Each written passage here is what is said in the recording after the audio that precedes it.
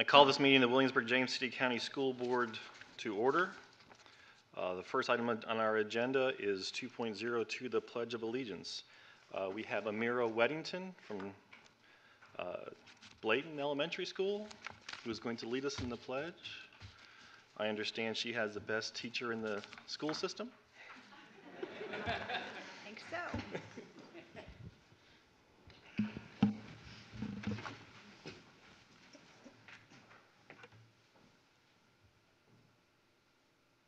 I pledge allegiance to the flag of the United States of America and to the republic for which it stands, one nation, under God, indivisible, with liberty and justice for all. Thank you, Amira. Way to talk into that microphone. The people on TV like that. Uh, 2.03, Ms. Surza, can you take the roll, please? Dr. Beers? Here. Ms. Cook? Here. Hummel? Here. Taylor? Here. Young? Here. Kelly? Here. 3.01, certification of closed session. Can I have a motion for certification of closed session, please? Mr. Chair, I certify to the best of each member's knowledge the Williamsburg James City County School Board, while in closed session, discussed only public business matters lawfully exempted from open meeting requirements as stated in Virginia law, and that only such public matters were identified in the motion convening the closed meeting were heard, discussed, or considered. Is there any discussion? Oh, sorry. Have a second, please? Second. Thank you, Mrs. Hummel. Any discussion? Ms. Surza, could you take the vote, please? Aye. Mrs. Taylor? Aye. Mrs. Young? Aye. Dr. Beers? Aye. Ms. Cook? Aye. Aye. 5.01, announcement superintendent's report. Dr. Constantino? Mr. Chair, members of the board, good evening, wait, everyone. Wait, wait, wait. My bad. Approval of the agenda first.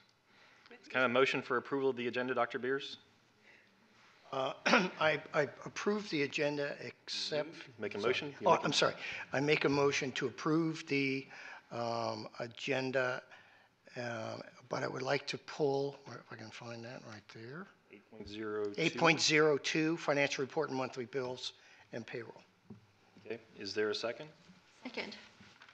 Uh, We will move 8.02, sorry, to uh, 9.02.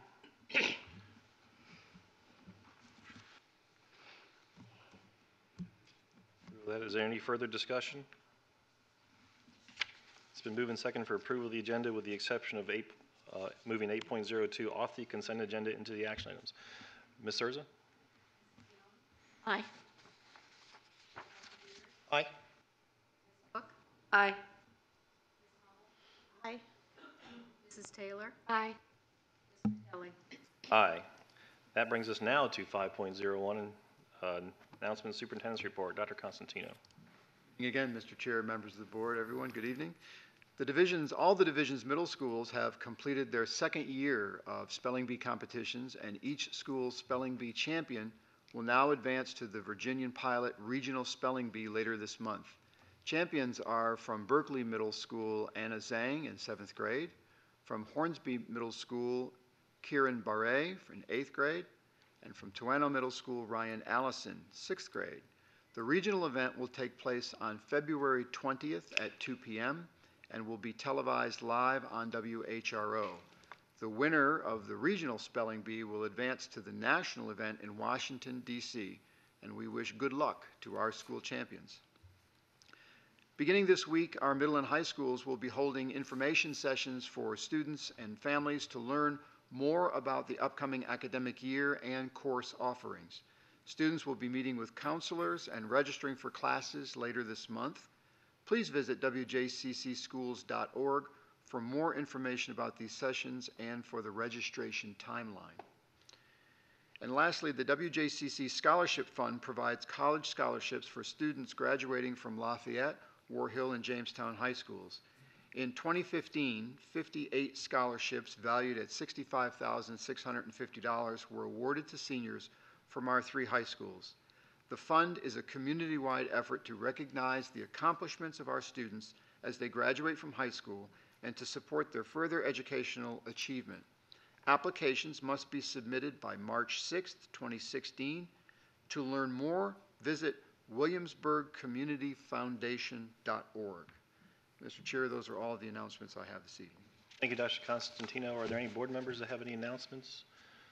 Um, It was our intention to have uh, the Powhatan uh, district seat selected by this evening. Unfortunately, with the snow event and the weather from last Friday, uh, closing the buildings, we were forced to move that back a week for our, we'll do interviews this Friday and uh, hopefully uh, select a, a new member at that point. Um, and the other thing too, Dr. Constantino, I know we've had a couple of weather events since the last time we got together, and I just want to thank uh, you and the operations staff and your entire team for how you've handled those issues and uh, the, the uh, weighty decisions with which they're made, because it's, they're not easily made. So with that, 6.01, board recognitions. Dr. Constantino. Thank you, Mr. Chair. Good evening. We have a few individuals uh, to recognize tonight. Let's begin by recognizing three Lafayette athletes for being named to the Virginia High School League All-State Cross-Country Teams. These students were unable to join us last month due to a track meet. Students, as your name is called, please come forward and remain for a group photo. Brooke Crookston, VHSL All-State Girls Cross Country Team.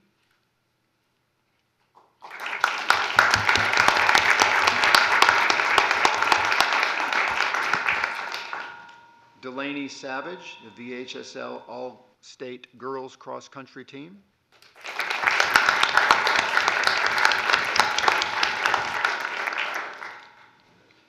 And Conrad Steck, the VHSL All-State Boys Cross Country Team.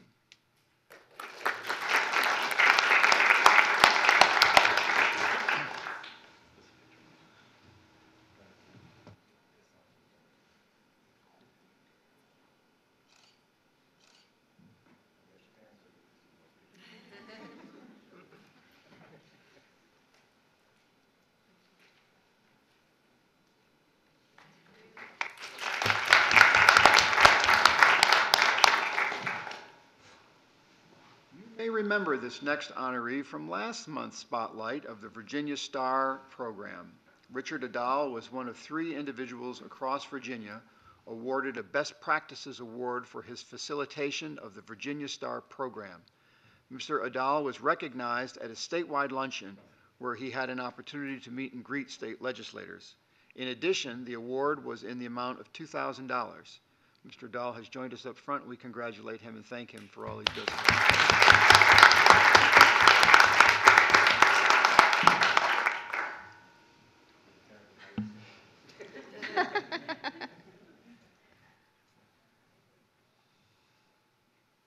National Board Certification is a highly respected professional certification.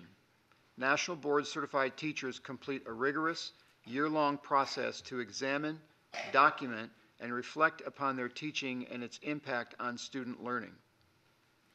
The process also includes an assessment to demonstrate depth of content knowledge and teaching skills within their specialty.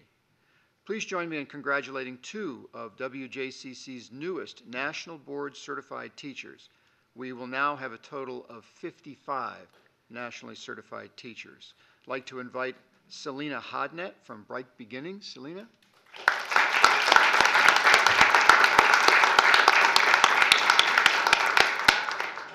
And, and Christina Lunzer, Student Services, Special Education, Adaptive Health, and. PE.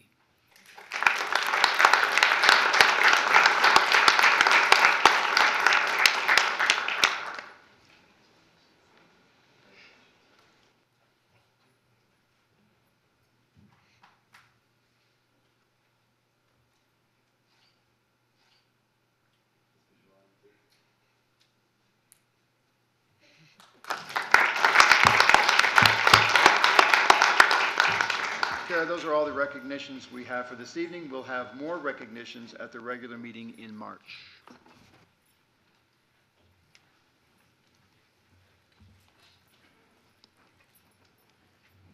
Thank you, Dr. Constantino. Uh, Next item on our agenda is 6.02, School Spotlight, J. Blaine Blayton Elementary School. Dr. Constantino? Yes, I'd like to welcome uh, Amy Stam, of J.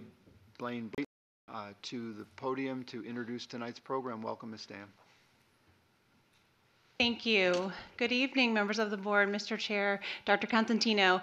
I am beyond honored and privileged to present to you tonight some of our students from Blayton Elementary. We will be highlighting our Lit Fit program, which is definitely coordinated and run by Carolyn Christian, our, our PE teacher, as well as Abby Reynolds, one of our special ed teachers. And at this time, I'd like to turn your attention to our video, and then we will have a short presentation.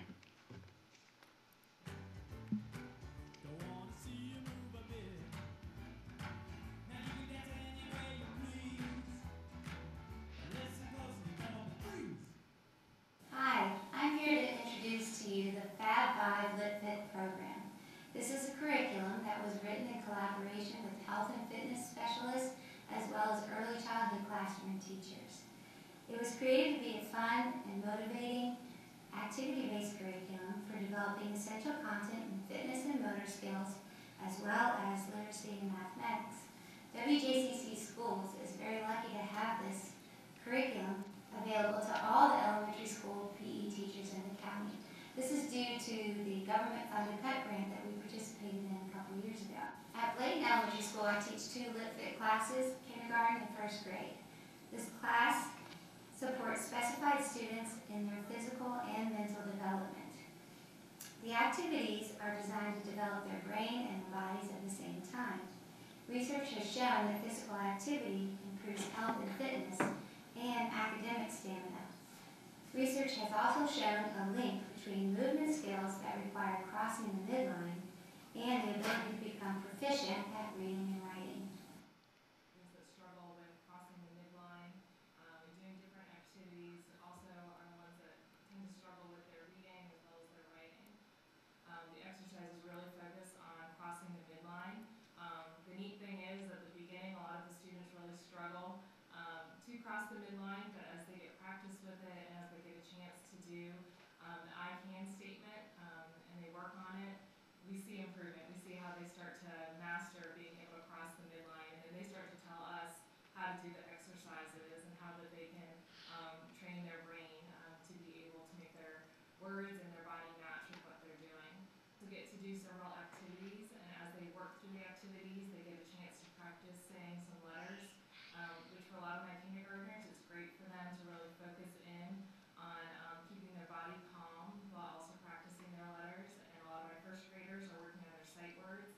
And they too get a chance to keep their body calm and practice um, their sight words. We've also incorporated some colors um, into what they're doing. And um, the Lazy Eight, which is one of my favorites, they get to incorporate um, saying how their body is moving while they're doing the action. And I see how they benefit not only from the exercise, the movement, crossing the midline, practicing their letters, their colors, and their sight words, but they also benefit from being able um, to interact with their peers in these situations. They get a chance to at stations. They get a chance to show each other how to do things, and they get a chance to encourage each other. What have you learned from that fit? To, uh, like, make, uh, my brain and body, Good. Is there anything else you've learned from Lit Fit? how to keep me calm. Good job. What have you learned from Lit Fit? How to make your body and words match. Good job. Do you have a favorite exercise that we do? Good. In Lit Fit, do you like to do toe taps, knee touches, or cross crawls the best? Good job. See if you can help me finish one of our I can statements. Are you ready? I can make my words and body match. Good job. All right, we're going to show you one of our exercises. Let's stand up. Since we like cross crawls, can you show how we cross cross?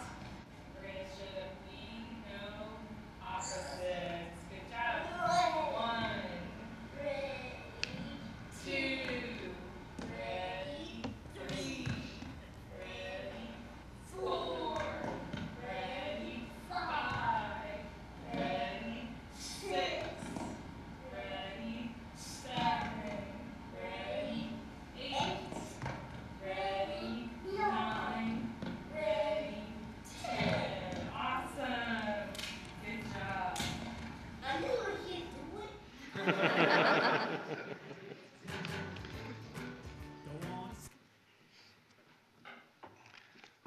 Definitely out of the mouths of babes, and we appreciate your time in watching that video. As you can see, there's so much that goes on in our Lit Fit sessions.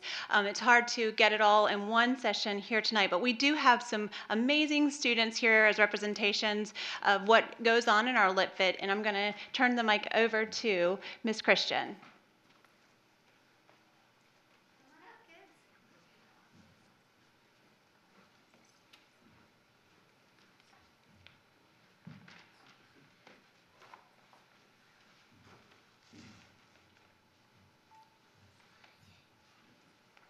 Some of you may have been wondering about the midline. Um, the midline is, is this midline that goes through our body. And the research has shown that it helps the brain develop when you do activities where you have to actually cross the midline. So we are going to show you some of our, our crossing the midline lit fit exercises tonight. This is Amira and Jeremy and Raphael and Isabella, and these two are twins, and Thomas. So we're gonna make our circle, guys. Can you guys work with me here to make our circle? We don't have our circle that we usually get to stand on, so we're gonna join hands and spread our circle out a little bit. There we go. All right, and hands down. All right, feet apart.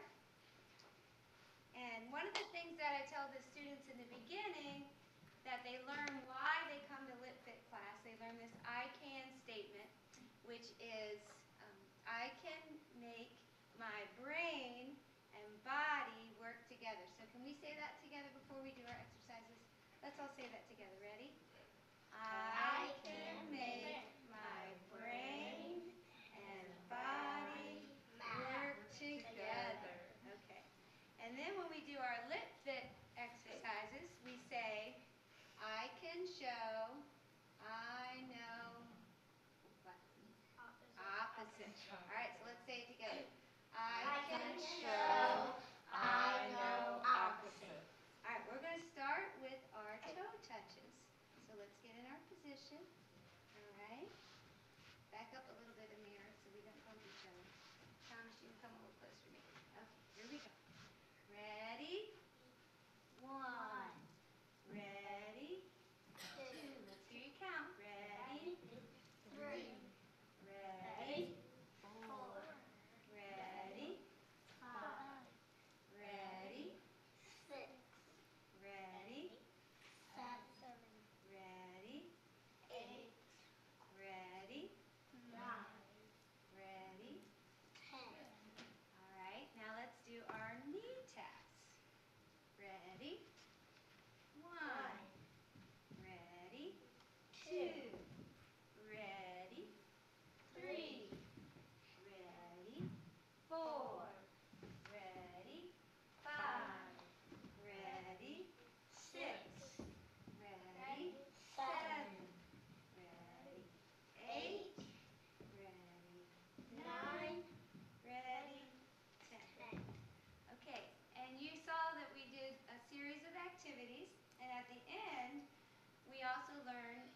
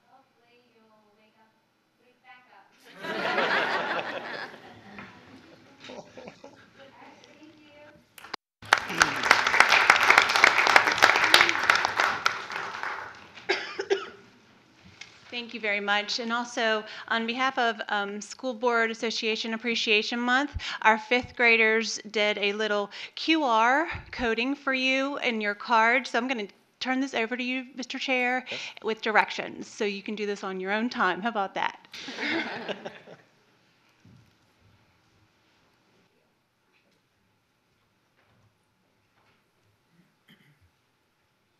Thank you, Ms. Stam, um, Ms. Reynolds, and Ms. Christian. I appreciate uh, the, uh, the, the uh, good demonstration there, and uh, they, they do their exercises better than I do at my, my gym, so appreciate that. That brings us to uh, 7.01, citizens' comments. Dr. Beers?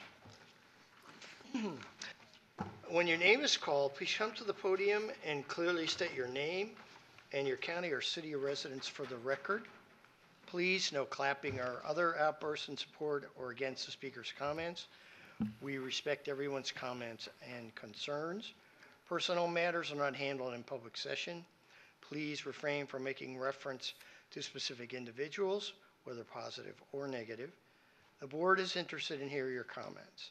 However, the board does not generally respond to comments. When your time is up, please stop talking. We need to respect the time of the speaker after you and the time of the board meeting. A reminder that speakers may not yield minutes to another speaker. Speakers shall address their remarks to the school board. Thank you, Mr. Chairman. Thank you, Dr. Beers. And Mrs. Cook? Philip Kennedy? Good evening. Um, I'd like to just address a couple issues. Uh, my child has been in Williamsburg, James City County Schools since second grade, and this is probably my third time addressing the school board in the years he's been there. He's now in high school, and once again, um, the school is not following his IEP. The IEP was not followed from the beginning of this school year until January the 10th of this year. I think we need to do a much better job on providing the services for our students with special needs. And it's unfortunate that um, we had to get to this point this far in the school year to find out that the school was not following his IEP. Um, in addition to that, um, I won't mention the school, but there are several other issues that need to be addressed at uh, this school. Um, this year, my son, there was an incident that happened in our neighborhood, and the school principal, assistant principal, allowed a James City County police officer to come on school grounds to question my child at, at school without parent, without a parent being there, and notified me after the fact. But yet, the Caucasian student was questioned in his home with his parents present. So that's a problem uh, for me. Um, so clearly, there needs to be some type of training uh, to go on at the school. Furthermore, um, I know in December we adopted a restraint policy, um, but the issue is the restraint should be as a last resort and not something done out of convenience. And my son, who has a history of flight when he's overwhelmed, um, tried to flee a situation, um, and he was restrained uh, by someone who's not trained um, to restrain students, um, which resulted in the school charging my son with assault and battery on a staff member. Um, that is a problem because it doesn't even, the way the code of conduct defines uh, assault and battery is with intent. He was trying to flee. He has a documented history of fleeing. Um, and when we went to an MDR, from what we were told why he was being suspended, I was okay with that part of the um, explanation. I was not okay when we got into the MDR hearing to have the principal bring up a whole nother set of facts that we had no idea about and present it to the MDR committee um, to say that he not only hit this person, but he continued to hit uh, this person. Um, and the person stood fast on her version of the story until we had to remind her that the facts that she was presenting were not true or accurate, which she presented to us as parents. And she still stood fast on and told me that this is not the place to discuss this. However, um, I let her know that we recorded her when she told us what happened, and the information she was presenting to the bo- to the committee was not what we were told. Thank you. Jay Everson? Thank you, Jay Everson, 103 Branscombe Boulevard. give you an understanding, we're going to have STEM at James Blair. Science, technology, engineering, and mathematics.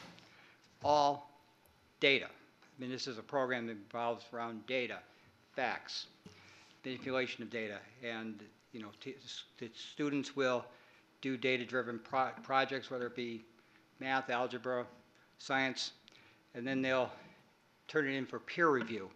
That is called grading by the teacher. Well, last December, uh, the um, Future Think came out. And as far as I know, it has not been um, reviewed here at a, at a board meeting. And the Future Think is what we use to determine our future enrollment capacities. And on page 16, you will see a, a map of the Williamsburg, James City County area. It's color coded by where population growth. You'll notice that colonial heritage is in dark green, meaning over 15% population growth between now and 2020. Makes sense? It's a big community, about 2,000 houses approved. Next, page 17 is a uh, same map, but this time it's on projection of students. And so if you look at Williamsburg Landing area, it's red, zero, age restricted. But if you look at uh, this same map on colonial heritage, it's dark green, over 10%. This is 2,000 houses, age restricted. Now, any normal development, that's going to produce a lot of kids. So, got to thinking about this, and I recall that back on the Tuesday before Thanksgiving of 2014, two members of this board and Dr. Constantino met with the Board of Supervisors about the James Blair situation. One of the supervisors asked Dr. Constantino about the, how good are these enrollment projections? And he said, three years out, pretty good. After that, more art than science. So, we take the Future Think projections from 2015, and we'll go three years out, you will decide, you will see that under the most likely, it'd be 246 kids over the current 2571 projections, low end 167.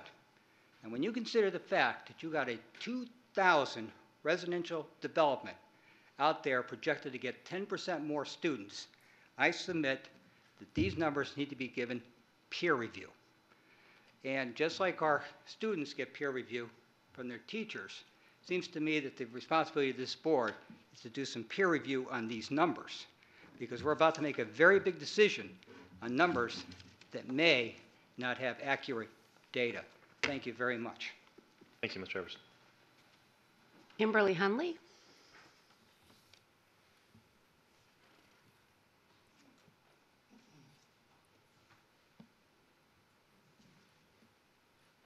Good evening, Kim Hunley, 108 Mattaponi Trail. And Jerry's here today. We're on behalf of the WJCEA Exec Board.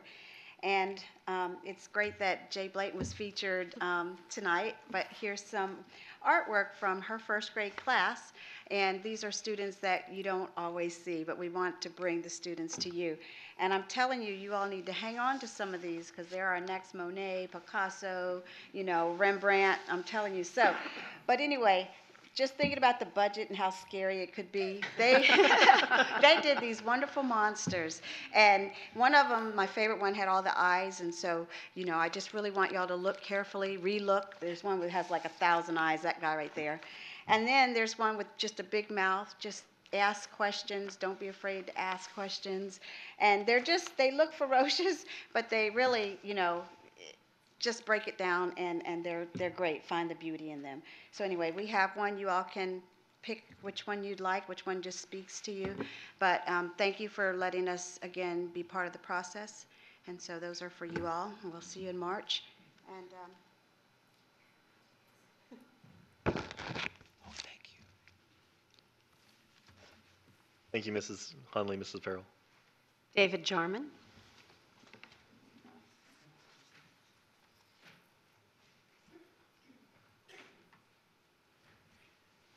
Good evening.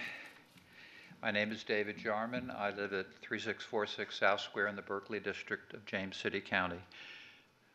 I believe that the James Blair Fourth Middle School project should be revisited, if only because the conditions have changed materially since the project was conceptually approved in November of 2014.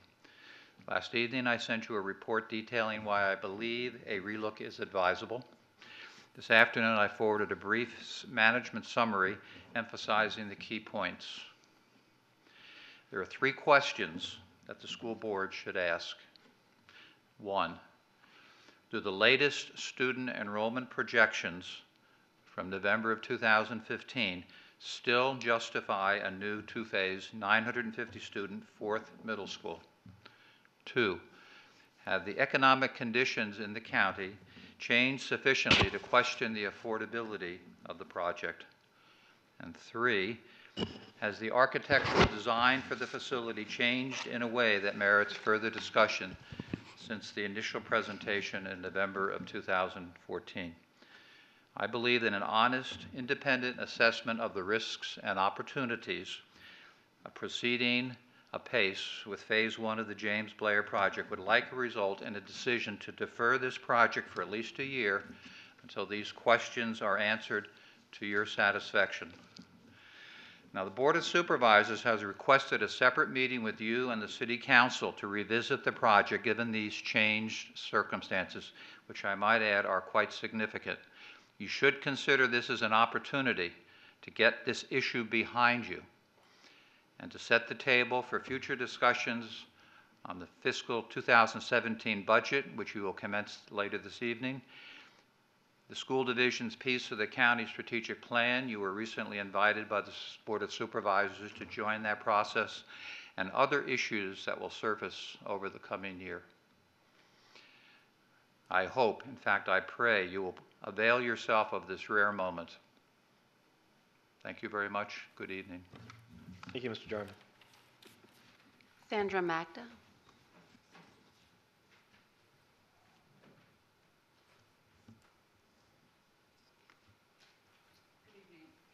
like this is my new home. It has been 375 days since our first report to CBB regarding our daughter being bullied. 265 days since our daughter was physically assaulted at school. You had plenty of opportunity to address this issue with us. Instead, six months ago, we had to hire legal counsel. To what lengths would you go to protect your child? How long does it take to get answers in this district? Since when have politics and legal maneuvers given way to actions noted explicitly in the Student Code of Conduct and your own operating procedures when it comes to the safety of a child? You hide behind your position, whatever that may be, to protect yourself. First, before protecting the rights of the children you are in position to lead. How is that leadership? You talk of parental engagement and, ins- and ensuring what is best for our children.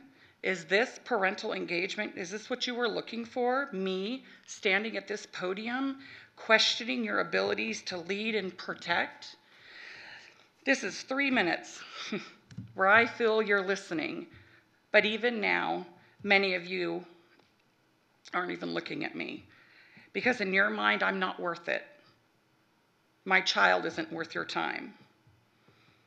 You need to know my child is worth it, and we will continue to fight this battle. We are not leaving.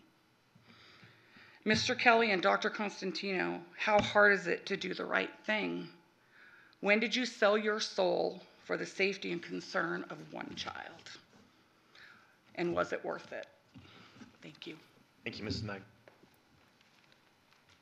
Ryan McKinnon.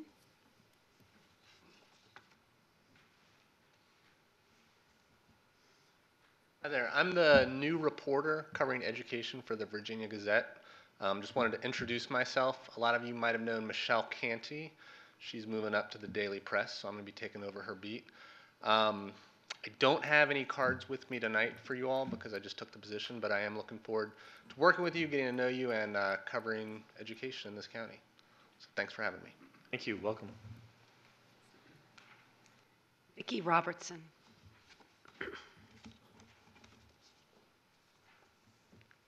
Good evening. My name is Vicki Robertson. I teach at Clara Byrd Baker School and live in James City County. I received my first full-time job here at WJCC Schools. I signed a contract with you when I was 21 years old. My husband works for WJCC and our daughter went to the schools here, K to 12. I'm speaking tonight about fairness.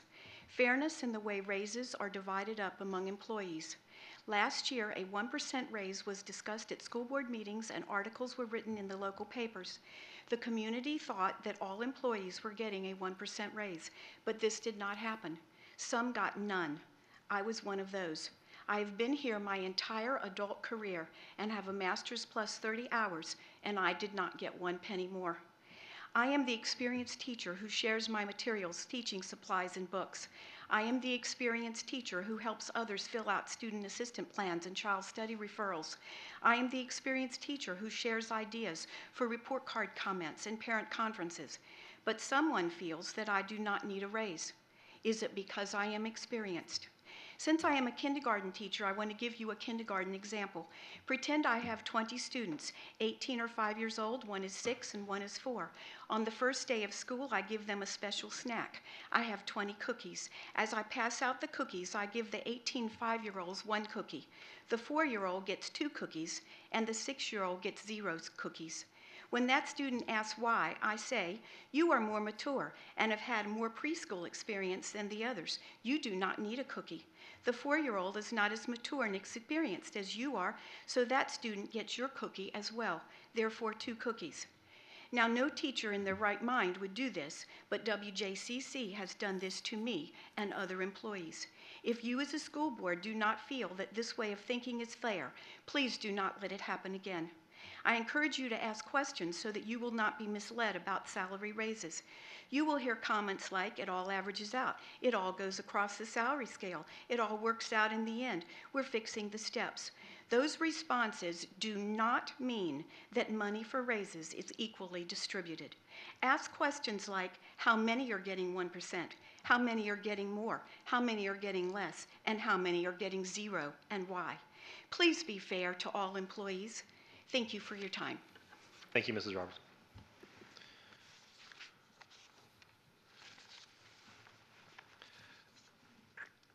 That brings us to the consent agenda.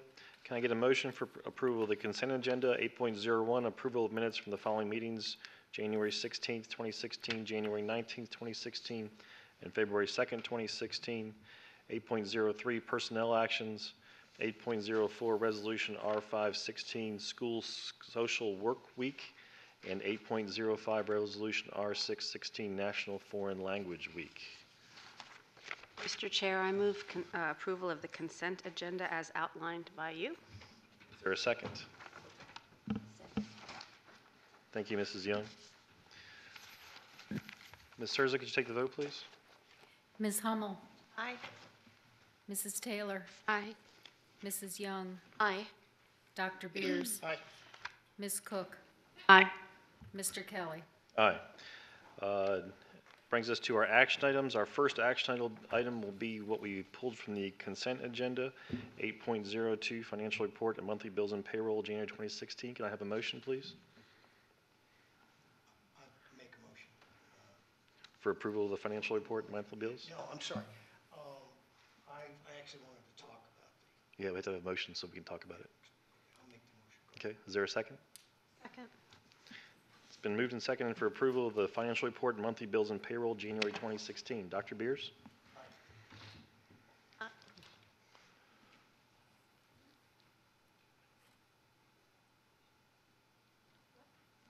Dr. Beers, discussion? Oh, yeah, sorry. Um, uh, Actually, there are a couple of things. Uh, One of them, um, I I want to applaud the Finance Department. Um, I was um, very much um, pleased to see under the the General Operating Fund in your report, how much of the federal funds you have recovered, and and it looks like um, uh, that you're very prompt in um, making your uh, reimbursement requests, and uh, and that's, that's good, and I, I, I- I wanted to applaud you on that. Um, the other, the other thing I had is, I, I- I did have a question, um, you know, as I'm learning, um, the various columns and the percentages. Um, I was curious about the, uh, under expenditures, um, uh, um, administration, it's showing sixty-two point three percent um, of the budget um, has already been uh, expended, is that correct? That is correct. Okay. Um, And is, is that, that seems a, a bit lower than it was last year, and, and, you know, can you give me a reason for that? Can't give you specifics while I'm standing here, but I certainly will look into that and provide you details. The other, I guess the other one, under, if I went on to the next page, uh, under revenue, capital projects funds, and again, um, it's not, uh, um, it's not that I need more data, it's more, I need, you know, I need to understand exactly how it's working, and I'm looking under revenue and expenditures, I see four point four percent, um, um, uh, of the revenue, um, and Microphone down. Oh, sorry. Um, and then I noticed last year, during that same period, um, I saw forty-five point three percent, same thing, same question. It, it's like, why is there, you know, what's the reason for these, you know, these big changes? We try to be strategic and when we send requests to the city and county to reimburse us for those expenses. If we have a small reimbursement, we wait until we get a, a large, larger chunk to request the reimbursement of revenue from them. Mhm. That's it, that was all. Thank you. Any other comments? I have a- I have Mrs. a Young? question. Um, I noticed that on the financial report, it's not showing the shortfall for the uh, state tax revenues. Is there a reason it's not being shown? In Williamsburg, James City County, the, s- the state sales tax is deemed as local revenue for James Right, City County and for Williamsburg. When they appropriate the budget, they are obligated to, to give us that money regardless of whether there's an adjustment up or down. If there's an increase in the sales tax, we don't reap those benefits. If there's a decrease in sales tax, the city and county are still obligated to pay us based on their ori- original appropriation. So I'm trying to, to grasp the, the depth of that. So if there is a three point million dollar shortfall, the, the county is responsible or the state is responsible for providing that three point five million dollars? The county has appro, the county has appropriated state sales tax based on calcu- calculation tools that we get from the state at the beginning of the year. Right. Whatever that dollar amount is, regardless of adjustments up or down, that is what the county and city traditionally give us. Stunned because that's a huge shortfall. I don't know where the county is going to get that money. The- And so I, my next question won't be appropriate because I wanted to know what steps we were taking to address the shortfall in our budget. But since it sounds like there isn't going to be one, Because they deem it local revenue, that's the way it's handled in Williamsburg, James City County. is that the way it's been handled for Quite a some long time, time? from what I understand, yes. Okay, thank you very much. You're welcome. Any other questions? And uh, moved and seconded for approval of the financial report, monthly bills and payroll. Ms. Zerza? Mrs. Taylor? Aye. Mrs. Young? Aye. Dr. Beers? Aye. Ms. Cook? Aye. Ms. Hummel? Aye. Mr. Kelly? Aye. That brings us to 9.01, 2016-17 school year calendar. Can I have a motion for approval of the calendar, please? Mr. Chair, I move a- approval of item 9.01, 2016-17 school year calendar. Is there a second? Second. Is there any discussion? Yes. Mrs. Hummel? Um, I have a couple questions about the survey. Um, Is this the appropriate time, Chair, for me to talk about it? Um, So first of all, I want to thank the school administration for reopening the survey. Uh, However, um, I think it was my impression that the survey was going to be similar to the previous survey, and that it would be a very, you know, it would be a uh, quantitative question that would uh, be similar to the one before, that would be asking uh, for input on whether parents, teachers, uh, wanted a longer winter break or a longer Thanksgiving. And the previous survey actually had that question. Am I correct? Yes, it did. It actually asked that question. It did. Um, the survey that went out, the second survey went out So in my mind, I was thinking it was going to a similar survey. Instead, there was a Likert scale of whether parents and staff were happy with the calendar from a one to a five.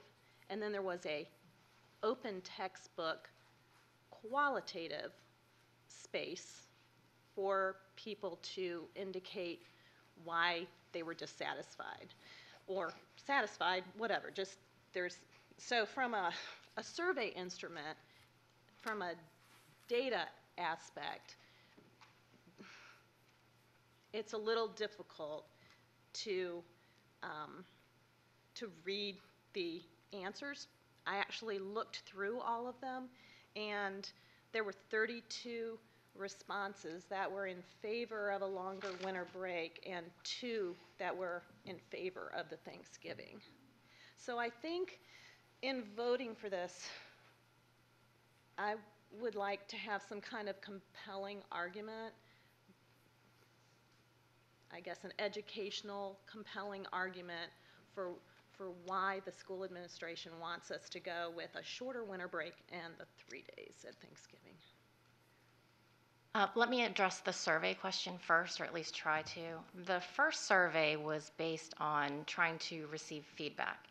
There was no actual proposed calendar tied to that, so we hadn't, the committee hadn't met. There'd been no regional committee, so it was purely to gather feedback on what people wanted to see in a proposed calendar. The second survey was based on a proposed calendar that met the division's number of days as well as was regionally what um, the calendars that our regional partners at New Horizons and other programs are, are sharing. So it was a, we have a proposed calendar for you to look at and tell us your satisfaction level with it. So yes, the two surveys were were different types of surveys. One was based on no document, and then the second one was based on a proposed calendar. Uh, educationally, one of the reasons that we have this as our proposed calendar is because of regional programs. The other localities that we participate in these programs, Governor's School, New Horizons, the Center for Autism, other special ed programs, they are all following a most of them are following a three day Thanksgiving break and an eight day winter break. How many students in our school division? Um, over 11,000. How many are students are you talking about in that? I The- do not have that number with me. I think it's less than 100. Is that? Somewhere around there. I think it's less than 100. So I, once again, I,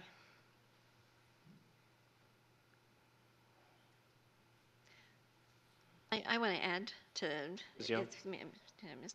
Chair, uh, Mr. Chair, may I please speak? Okay, I'm trying to learn this.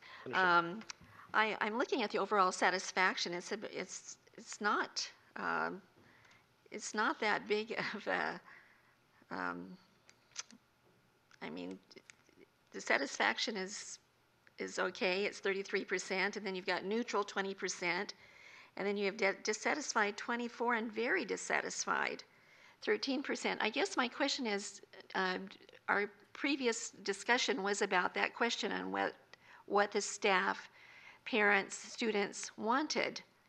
And it was about the dates, and now we're talking about the general calendar. I would have preferred that we kept the same questions and went back to staff and faculty and, and parents and have asked the same questions because um, I, I don't understand how um, how it came about that all of a sudden we're now getting ready to approve a calendar. And when I look at this, uh, 535 respondents out of a lot of people that didn't uh, participate. Operations was 1%. Um, elementary school was most involved, that was 44%. Uh, some students, uh, and most of the parents that, in, that responded were elementary school parents. But um, I'm, I'm not sure that I'm ready to approve a calendar without really knowing what, what people really want for Christmas, Thanksgiving break. So I would, would have preferred that we had kept the same questions. So in that, I do agree with Ms. Hummel, that we should have kept the same questions. Ms. Cook? Um, Ms. Overkamp, thank you, Mr. Chair. Ms. Overkamp Smith, uh, two um, questions I- I'd like answered. First of all, is there, um, is this time sensitive? That's my first question. is. Can you, Um, to start planning our programs for next year, we do need to know what the calendar is. We do also have a number of families that think we've already waited too long to approve a calendar because they're trying to plan their lives around the school calendar. Um, we do know generally our, st- our start date is pretty easy, but um, the end date would be affected if we make any changes to the holidays. Um, And my second question has to do with um, just a little background on the input that goes into a calendar in addition to the surveys. I've had the privilege of serving on the calendar committee before, and it was quite an educational experience. And so if you could maybe provide some, uh, a primer on that, that'd be great. Um, As you know, we do a survey to start off the process. Then we also have, um, locally, we have a calendar committee that includes representatives across levels. It includes instructional staff, operational staff. Um, Generally, it includes a school board member. Um, And that committee then takes a look at the parameters of the calendar, um, what we need to get accomplished, professional development, the number of holidays, the number of workdays, et cetera, within the framework, the very specific framework that the state has provided us. And then that committee gets together and um, discusses the calendar. They talk to their fellow teachers and staff and get input from them. We then put together a draft. Um, We share that with the regional calendar committee. The regional calendar committee has discussions, the superintendents have discussions about the calendars and, again, the parameters of the calendars, and then we come up with a draft. This year, we came up with a draft, and then we put it out for additional uh, input through the second survey.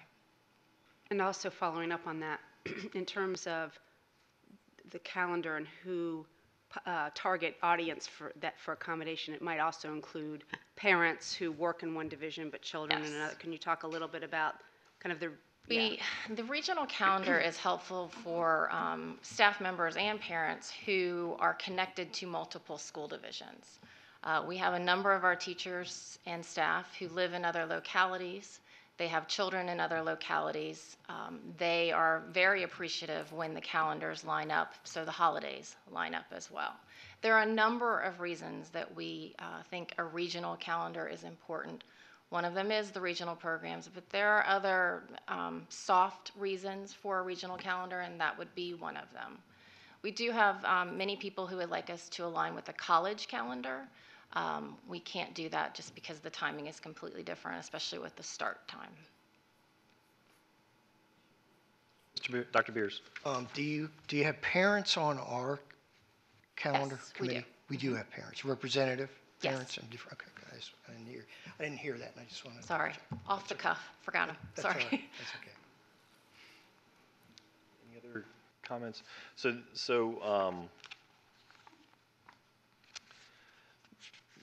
the regional, the regional calendar committee, who does, who does that consist of again?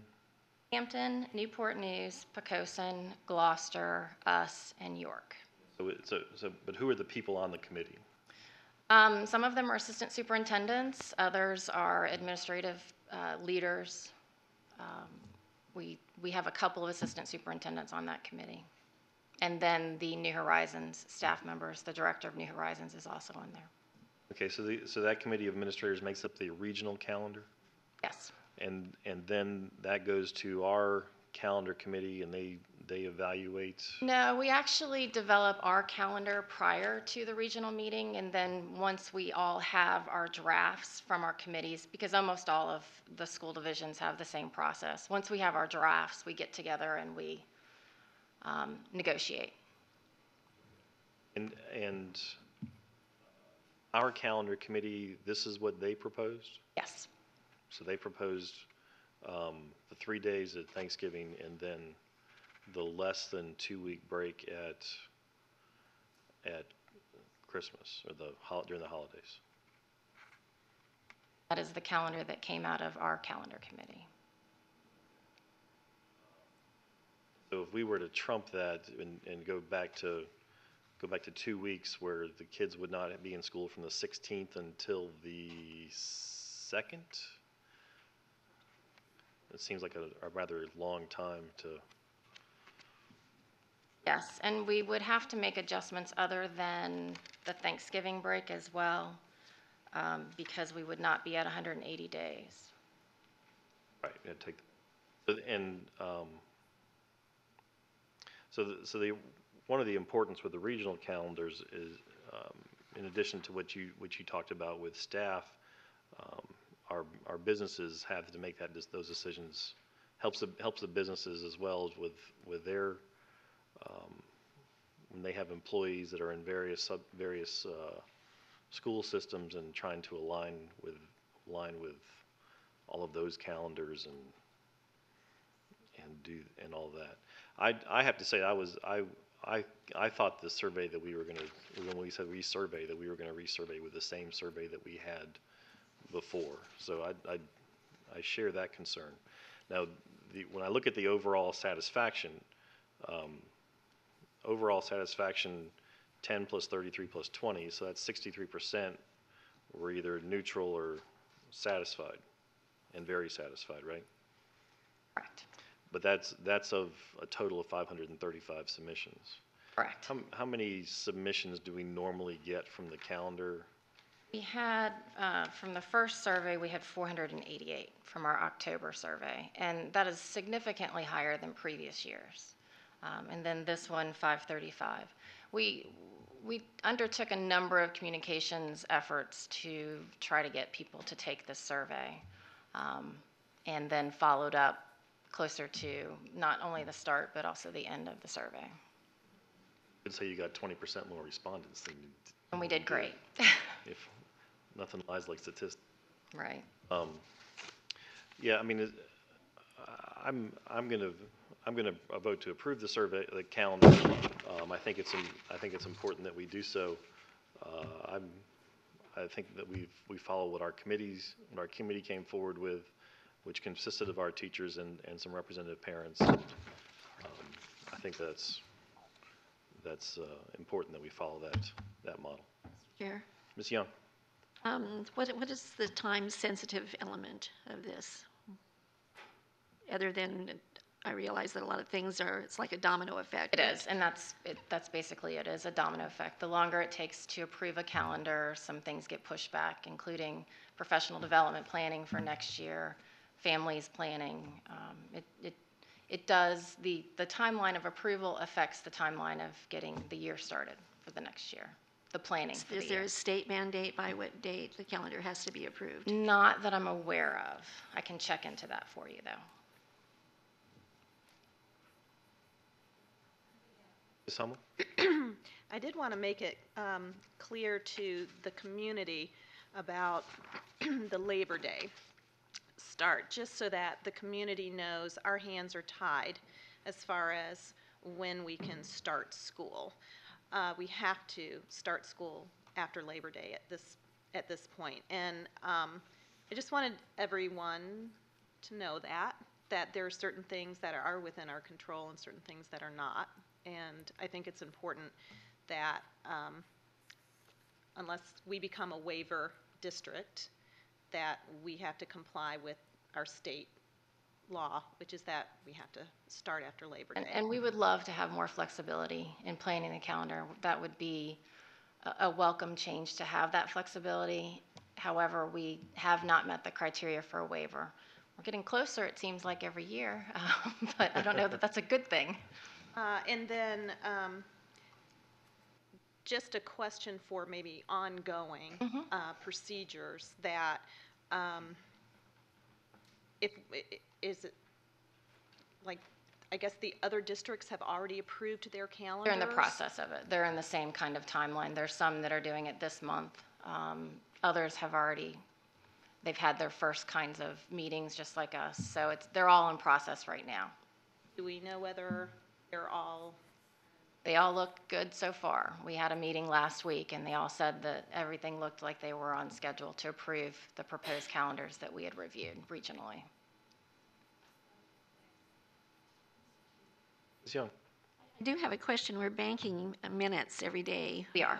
Uh, um, does- Does that in any way affect the 180 days of, of uh, required dates in, Uh, in we are, class? we are required 990 instructional hours or 180 days. We are, we start the year counting days because that's easier. Once we start missing, we start counting hours. We're counting hours now. So um, we have to meet the 990 hours, grades 1 through 12. Kindergarten is different. So at the beginning of a school year before we miss, we count days. Afterwards, we're counting hours. And right now, we're okay with our hours. Knock on some wood. Yeah. Any other discussion on the school calendar? It's been moved and seconded for approval of the 2016-2017 school calendar. Ms. Surza? Dr. Beers? Aye. Ms. Cook? Aye. Ms. Hummel? Aye. Mrs. Taylor? Aye. Mrs. Young? No. Mr. Kelly? Aye. That takes us to 10.01 fiscal year 2017 budget discussion.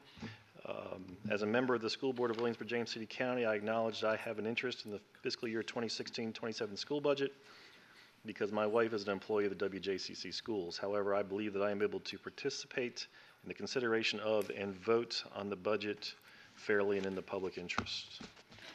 Mr. Chair, as a member of the School Board of the Williamsburg James City County, I acknowledge that I have an interest in the fiscal year 2016-2017 school budget because I'm an employee of the Williamsburg Health Foundation. However, I believe that I'm able to participate in the consideration of and vote on the budget fairly and in the public, in public's interest. Okay, With that out of the way, Dr. Constantino? Thank you, Mr. Kelly. If you'll uh, allow me one indulgence, I'd just like to welcome Mr. Andre to the meeting. Mr. Andre recently uh, lost his mom, and, and I want you to know that you have been in all of our thoughts and our prayers, and it's good to see you back. So, thank you.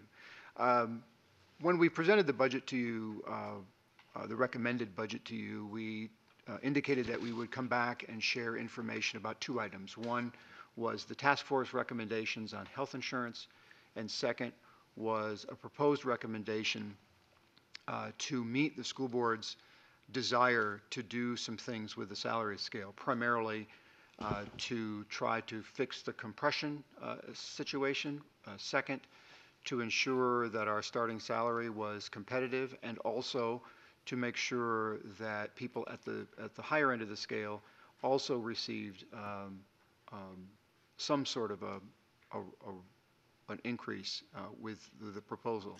So Mr. Baker is here this evening to do just that. Well, First, to share with you the recommendations of the Health Task Force and to get your input as we move forward. And second, to share with you um, a recommendation, first, a recommendation uh, for salaries. Mr. Baker? Good evening. Good evening, Mr. Chair, members of the board, Dr. Constantino. Uh, During the budget retreat, uh, a s- a health insurance increase was introduced, and so tonight I wanted to expand a little bit more on that, discuss the health insurance task force, and bring some options uh, to the board, and also look for some direction from the board. Um, To put this in perspective uh, and into context, we have over 1,300 employees who participate in our health insurance. That's over 80% of our eligible employees. Uh, We currently have two uh, PPO options uh, for our employees, and that means that's uh, compared to maybe like an HMO, it has more flexibility for our employees. And uh, also, all- our plans include medical, dental, pharmacy, vision, and employee assistance program. Uh, Last year, uh, we had a health insurance task force that was created uh, by the suggestion of the school board and of the superintendent. Uh, There was three main items that the Health Insurance Task Force considered. Uh, They looked at uh, in- uh, impending uh, federal legislation, uh, or the fiscal responsibility that we had for the school division, and also looking what's best for our employees for the health insurance, and, you know, looking for the best health insurance at a reasonable cost. The task force included 17 employees. Uh, It was made up of a diverse group of employees from teachers, principals, uh, food service, transportation, operations, uh, and also we had a school board member on the task force. We met three times this fall, and they came away with five recommendations. And you have a copy of the task force report uh, at your desk. The five recommendations from uh, the task force, the first one was promote the current wellness programs and offerings at, as long as we incur no additional cost. Uh, The task force didn't want to take on any additional cost. They realized we had a lot of value in our current wellness programs, and they thought we needed to promote that more. And the next slide I'll get into is an opportunity tonight to tell you more about some of the wellness programs that we have. Um, The task force also recommended that we keep the two PPO options that we currently have. They also wanted to, uh, the task force recommended implementing a spousal surcharge for employees whose spouse has the opportunity for health insurance with their employer. The task force also recommended introducing a high deductible health plan as long as it included a health savings account. And then the last item the task force recommended was a subsidies for, for our retirees uh, for pre-Medicare re- uh, insurance. And what this is, if, if uh, an employee of uh, Williamsburg, James City County Schools retires with 12 years of continuous service, we currently pay $750 annually to help for their health insurance before they uh, are Medicare eligible. And so the task force had a suggestion of we could potentially increase that cost. Uh, and you, I imagine you had to be a significant increase to potentially entice people to retire. Uh, uh, and see, some people are staying here just for the health insurance. And so that's something if we wanted to explore, we could. So I want to talk a little bit about, uh, take this opportunity to talk about the wellness programs that we have, since we have this opportunity in front of you tonight. Um, some of the main items in our wellness, wellness program are from our condition care, and that's dealing with uh, chronic illnesses like diabetes, uh, high blood pressure, um, uh, obesity, where actually through Blue Cross Blue Shield, through Anthem, they'll actually uh, reach out to employees, or our employees can reach out to them and help them manage that care from, from different doctors, nurses, counselors, dietitians, and help them manage that care for those chronic illnesses. Uh, the Future Moms program that they have is if you're in your first trimester, uh, if you register with the Future Moms program and you successfully complete the program, uh, they'll actually waive your hospital copay.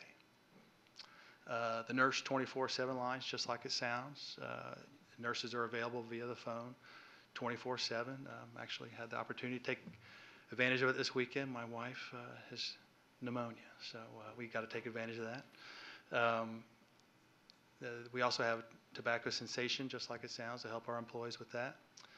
Live Health Online is a program. It's it's almost like FaceTiming with a doctor. You get a doctor 24/7, uh, and you FaceTime with them, uh, and they'll actually do a diagnosis, even potentially you know calling a prescription for you. This this lends itself to if you're traveling or out of town. Uh, the example I've heard was, you know, somebody was in Florida for a swim meet, and uh, their child had an ear infection, and they used the Live Health online. They, you know, diagnosed it, called in a prescription, and so that made the drive home from Florida a whole lot easier.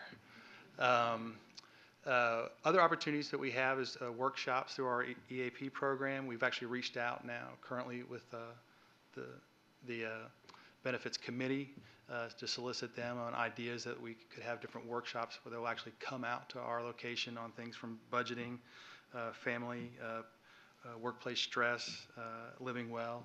And so we're working through our benefits committee to, to potentially have some workshop opportunities.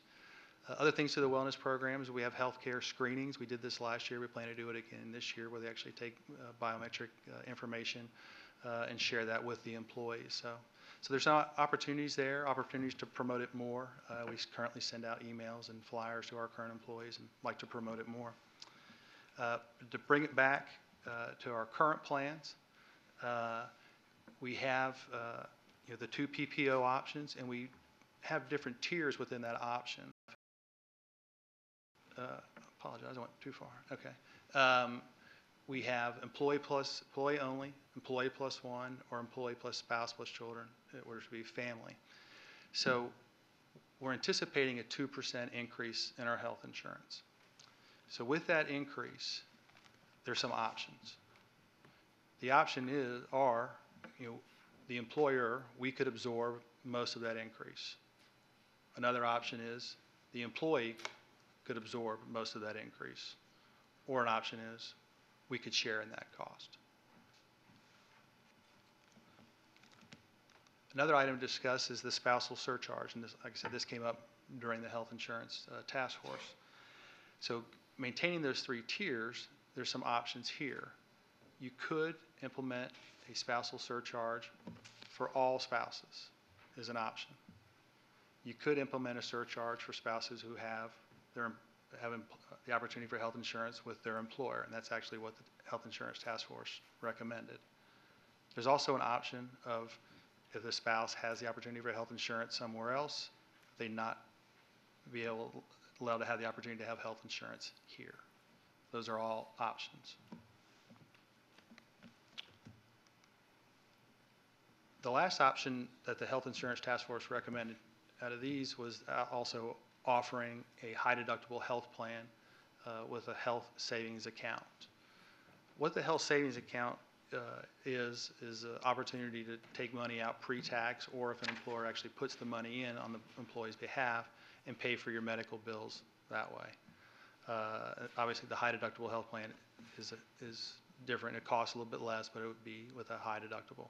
It still is a PPO plan offering the same as our other current plans. So that is an option. So the, the options came in kind of three main areas. So, you know, the cost share with how to in- uh, share that potential cost, spousal surcharge, and the high deductible health plan with a health savings account. So we just wanted to provide you some feedback and provide you this information, and then any kind of feedback you could provide us, and we could, you know, look at that. Mrs. Cook. Thank you, Mr. Chair. Mr. Baker, I have a handful of questions. You Could bear with me. Um, Could you just, could we start with explaining kind of what local choice is and what our options are for staying with or not staying with local choice at all? Specifically, um, if you could focus on the fact that local choice offers PPO-only products, and that's, so if you could just kind of educate us on that for a second, I'd appreciate it. We are part of the local choice. It's a consortium of government agencies from school divisions and uh, cities and municipalities where we all pull in our uh, uh, health insurance together, uh, and we benefit from that, that experience of all being together. But we, you're correct, we, the offer, the choices that we have with them are PPO options uh, with them. And we can't just say, goodbye, local choice, we're not going to use you this It's- year, but next year we are. It's a huge potential cost and, and a, and a potential risk where, um, um, you know, if we were to do that, you might have a significant uh, increase potentially in, uh, in your health insurance costs, and you'd have to build up a reserve to potentially cover that cost too. But Local choice, in other words, isn't something that you can float in and out of depending No, on. I wouldn't recommend that. No, we- we, we feel very fortunate. We're, we benefit from it. We benefit from this experience of all pulling together uh, our experience with them. Um, Also, another um, uh, similar topic is, there's been ta- talk about uh, school employees acro- across the state joining the state plan or um, a a- similar plan being uh, made available. Uh, Have you heard anything about progress on that front? I've heard, I think, the same. I haven't heard any progress on that. I I think that would be a challenge to get all the school divisions across the state to all agree to, to all come together. I, I came from a state actually where we did that. We all were part of the state plan, but I haven't heard any new information about.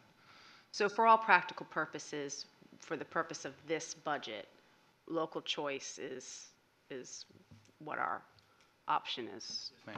Okay. Um, I like that you're going to be promoting the wellness programs. I thank you very much. Big proponent of that. Um, I'm just curious if during your discussions with local choice, whether you learned any more about our ability to track participation in those wellness incentive programs. Right, I wasn't able to break it down just to us individually. It's traditionally pretty low uh, in the industry for, um, to the point of even like less than 5%. So we we try to promote it. There's a lot of opportunity there. So the Affordable Care Act allows uh, insurers to incent uh, employees to participate in wellness programs. So is that, does local choice provide any incentives for participation or behaviors that are, or the reverse penalties for, We don't have it set up for like I've seen in years past, people would have, you know, a- a penalty if you were a smoker or a non-smoker. there's s- some negatives and some potential challenges there with, with items like that. So, but then they don't, they don't break out incentives like that. And I Don't. know if that's what we want to do either, but, sure. Um, The, um, both the HSA, um, I used to have an HSA and I, I- I miss it. Um, I'm a big fan of them, uh, but that in addition to the spousal potential surcharge, the administrative costs associated with either of those are something that I'm curious about, um, you know, in terms of developing a relationship with a bank willing to set up the HSA, HSA account for the employees, whether that's handled through the division or whether every man for himself. Probably s- actually set up an, uh, a partner with a company to do that, and do an RFP to get a company to come do that with us, So. with the um, HSA. Right, so have you, um, have you considered the costs associated with monitoring spouses and charging spouses, and then also setting up an HSA, and the cost of the, of that would, Monitoring of the spouses definitely would be a challenge, because potentially I've seen it where um, people are asking, you know, people to sign affidavits, and, you know, did your spouse really have this insurance and uh, those opportunities? So that, that'd be a challenge, Um, but that's an option. an option you think your department could uh, work into your already pretty intense workflow? Okay. Um, And then I had another question about the, the tiered structure. I, I just want to confirm that it would be, regardless of what this board decides in terms of whether we absorb the cost or the employee absorbs the cost or any combination thereof, it's a, for each of the three tiers, individual, individual plus, and family, it's a fixed price. And, and then whatever plan the employee charges, or or picks, then they, they pay the rest. In other words, we're, Correct. The, um, you- you're exactly correct. We, and that was what we did last year to kind of fix that issue. So, uh, if the employee is choosing between the, uh, 250 or the 500 plan, uh, we pay the same on their behalf. So like, uh, for an employee only, uh, we're paying $605 regardless if they pick Key Advantage 500 or Key Advantage 250, the school division's paying $605. So if, if they want to incur more cost, the employee does, uh, if they want to pick that 250 plan that costs a little bit more, they'll pay, instead of paying $24 a month, they'll pay $77 a month. And so we, we set that all the same. Uh, So employee only, the school division's paying $605. For employee plus one, the school division on employees, this is per month, uh, paying $1,015. And for the family, they're paying $1,500 on their behalf every month. and have you, and do you know how the HSA premiums would disrupt that? Because they tend to be significantly lower than those other plans. So that could uh, factor in, uh, or would, or does that fixed price include not only the premium, but then the HSA contribution? If you Well, we get- could set that up, we could design it to, to have even a lower cost, and then if, if we desire to put money into an HSA on their behalf, you could, like some people might put uh, $100 uh, or something into somebody's HSA per month, if, if the price was that much lower. But is that what you're, is that kind of what you envisioned? it- because That's the way I've seen it done before successfully. Mhm. Okay, okay. Um, Thank you, Mr. Chair. I think we're done. Dr. Beers? I just want to go back. I want to make sure I understand this. Um, With the, the 250, 500 deductible, um, is there a, a difference? I know, I know we, the, the district uh, pays $605. If somebody gets a 250 deductible rather than a $500 deductible, are they going to pay more per month per premium? They are, correct. So they will. So, so there, there is, so The- it, it's, it's to the, um, to the staff members, if they can afford the, that, the five hundred dollars, their monthly, um, premium is gonna be lower than if it's two fifty? Right, uh, right now, for the 500 plan, the school division pays 600, for an employee only, the school division pays $605, and the employee pays $24 per Okay. month. For the 250 plan, which is more expensive, the school division pays the same $605, but the employee pays $77 Oh, okay. per month. Okay, So the fifty dollars difference. The other question I had is, um, how are, uh, you know, because we're, this is, um, you know, this is the benefits, part of a benefits package in terms of recruiting and retention. How does, um, um, you know, the, the spousal surcharge, some of these other things, how are other districts, uh, how do we compare with other, our, you know, our competitors? Look at some of our competitors, they are, they are breaking out spouses. Uh, They're not doing it to, um, they're creating a whole new tier. I think Chesapeake, Gloucester, Hampton, Newport News, Portsmouth, York.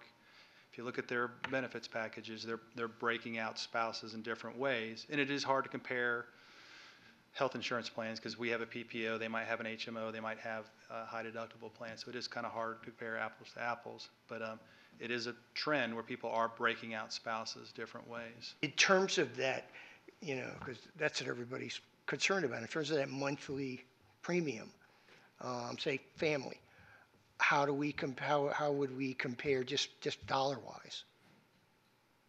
I think we're, we're comparable to the, our neighboring districts. I mean, in, in dollar-wise and even kind of in cost share, we're, we're comparable.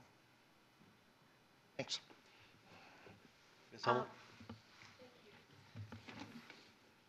With the family plan, um, I just want to, uh, have the question, is there an additional, is there like a cap on how many kids you can have? You could, so, so families with six or seven kids are pretty much paying the same as families with two kids, Correct. uh, until they're twenty-six years old, Eligible. eligible. Um, Couple, of couple of questions. 1,300 employees participate. How many spouses are we talking about there? 664 spouses currently covered. So, um, so ru- roughly half, right at half. Um, and so let me just kind of go through this as we're, as we do that. The,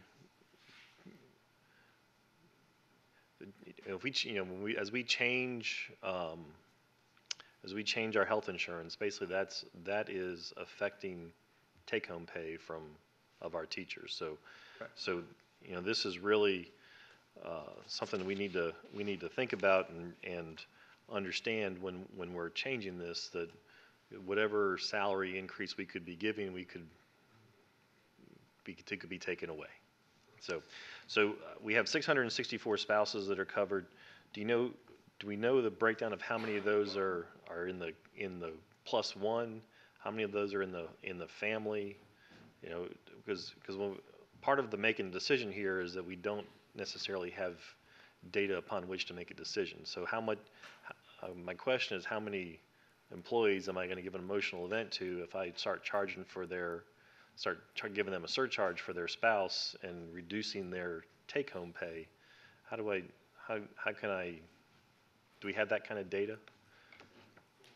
There's currently, uh, I think, 193 employee plus one, and that one is a spouse out of the So you know that's a spouse and not a kid? Could we- Pardon? You know that's a spouse and not Yes, a sir. kid? So that's 191, 193 93? that were employee plus one, and that was a spouse. And the family? Because I guess, because I guess if you, if you, if you charge for the spouse and the family plan, if, if, in Mrs. Hummel's example, there are seven kids there, the, the, taking the spouse off of that policy doesn't save the, the school system any money. Spouses cost more than children. Uh, Understand yeah. that, but the premium is, is for family.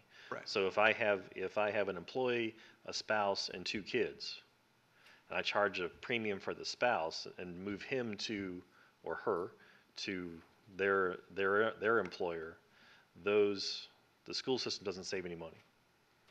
Because it's still the same fifteen hundred dollar family plan number.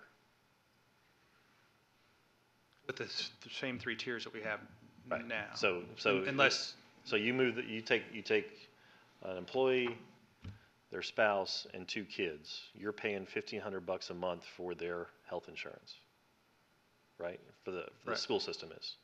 So you take the spouse, put her on their employer.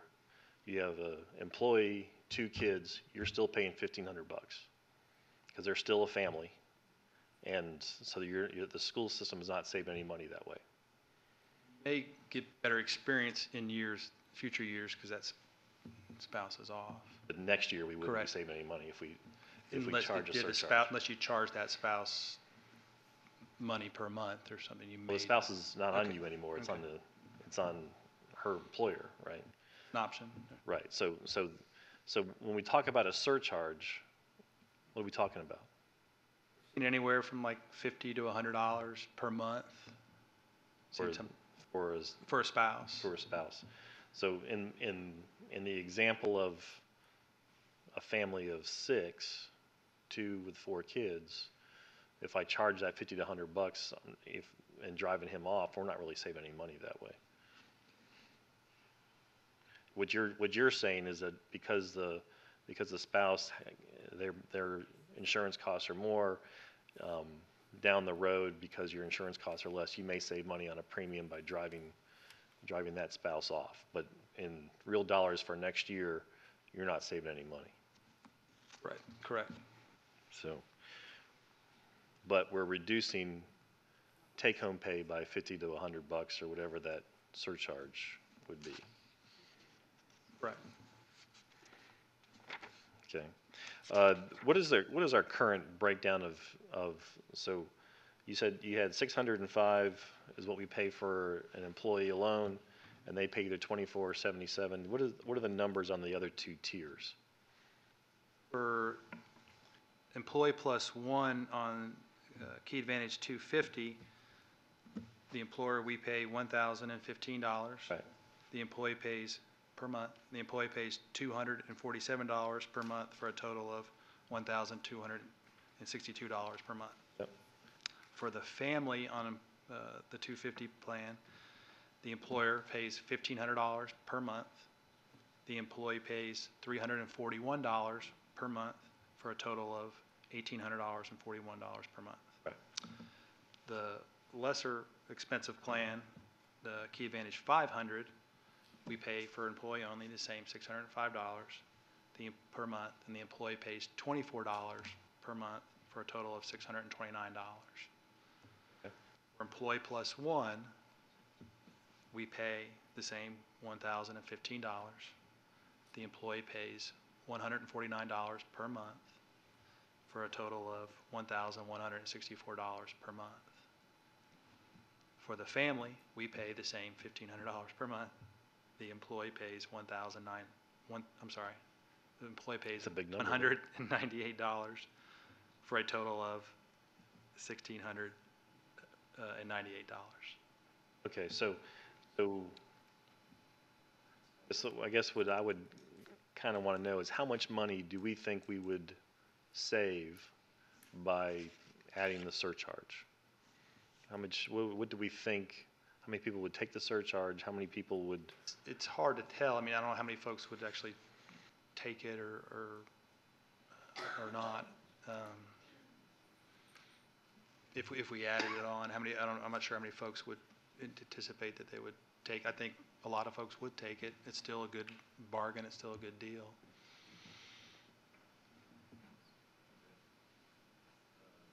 just, just something, you know, we, this is also a, an, you know, we're, it's a cost to the employee, it's an engagement issue with the employee because, you know, that's just another, another hit we're gonna give them.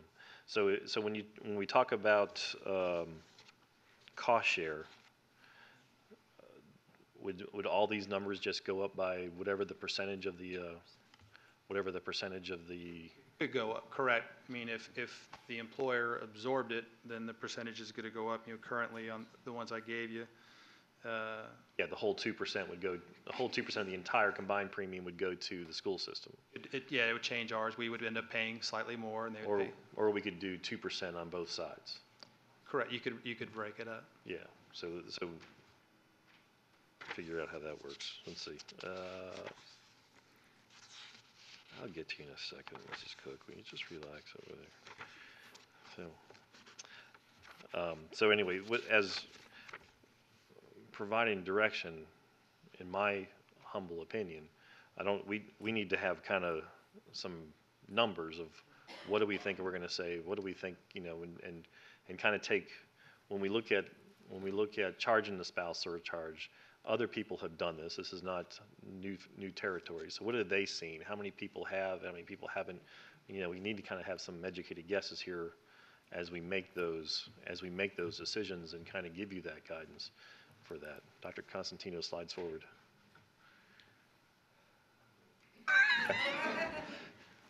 But you're going for the mic, sorry. I might.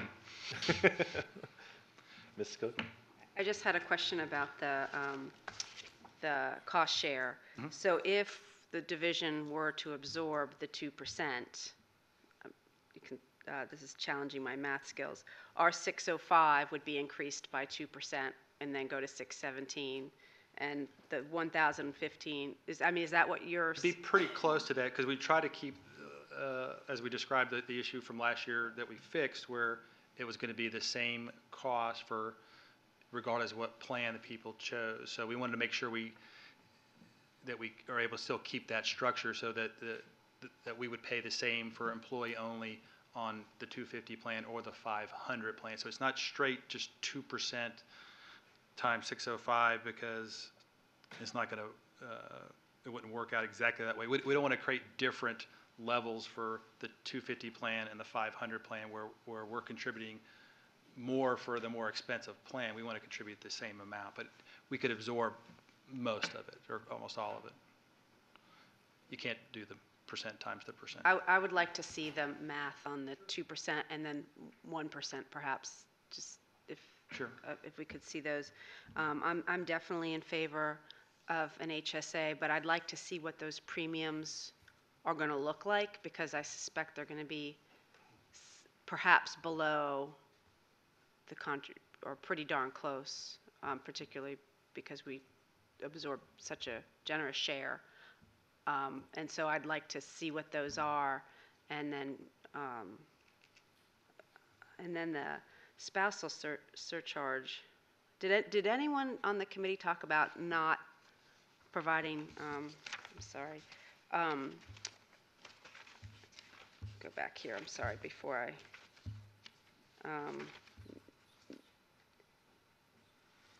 it says prohibit spouses with other employee offered coverage.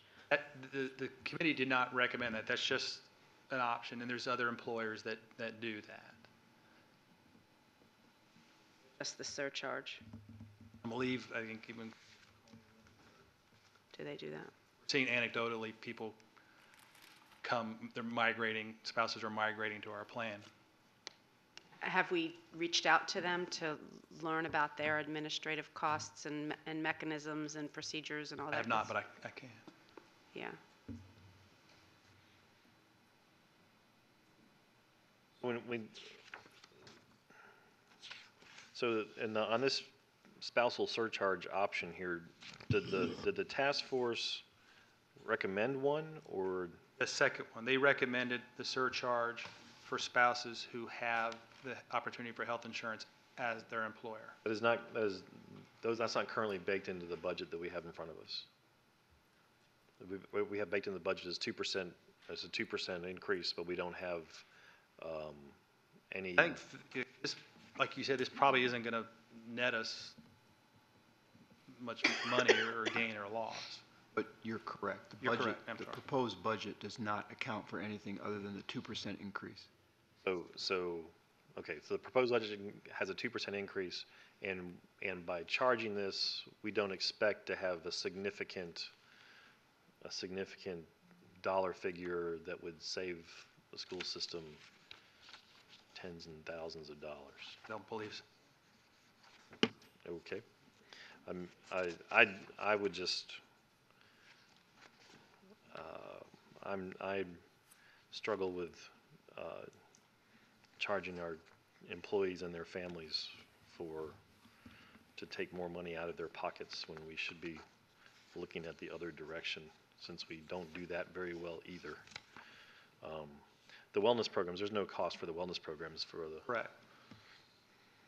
But those are good things to do, and we would, we would certainly have to encourage people to, uh, would want to encourage people to participate in that. Dr. Constantino? Thank you, Mr. Chair, members of the board. Um, We've captured in note-taking this evening the kinds of things you said you wanted to see. And that really was our purpose tonight, because we can go in several directions. And as you start to calculate, there's a lot of number crunching that could happen. So before we started that, we were trying to get some idea of, of direction. Um, so for those board members who said, I'd like to see, I think we've captured that and we can do that. If, if you haven't said that this evening, or if there's something that you want, um, the sooner that we know what it is you're interested in, the maximum amount of time to, to get this information done and to you would be very helpful to us. Mrs. I- Young? I do have a question about, um, um, as I'm, I'm certainly no health insurance guru, but um, I do have a question about on, are there caps on benefits for these insurance plans? For example, I'm, I'm thinking of catastrophic insurance.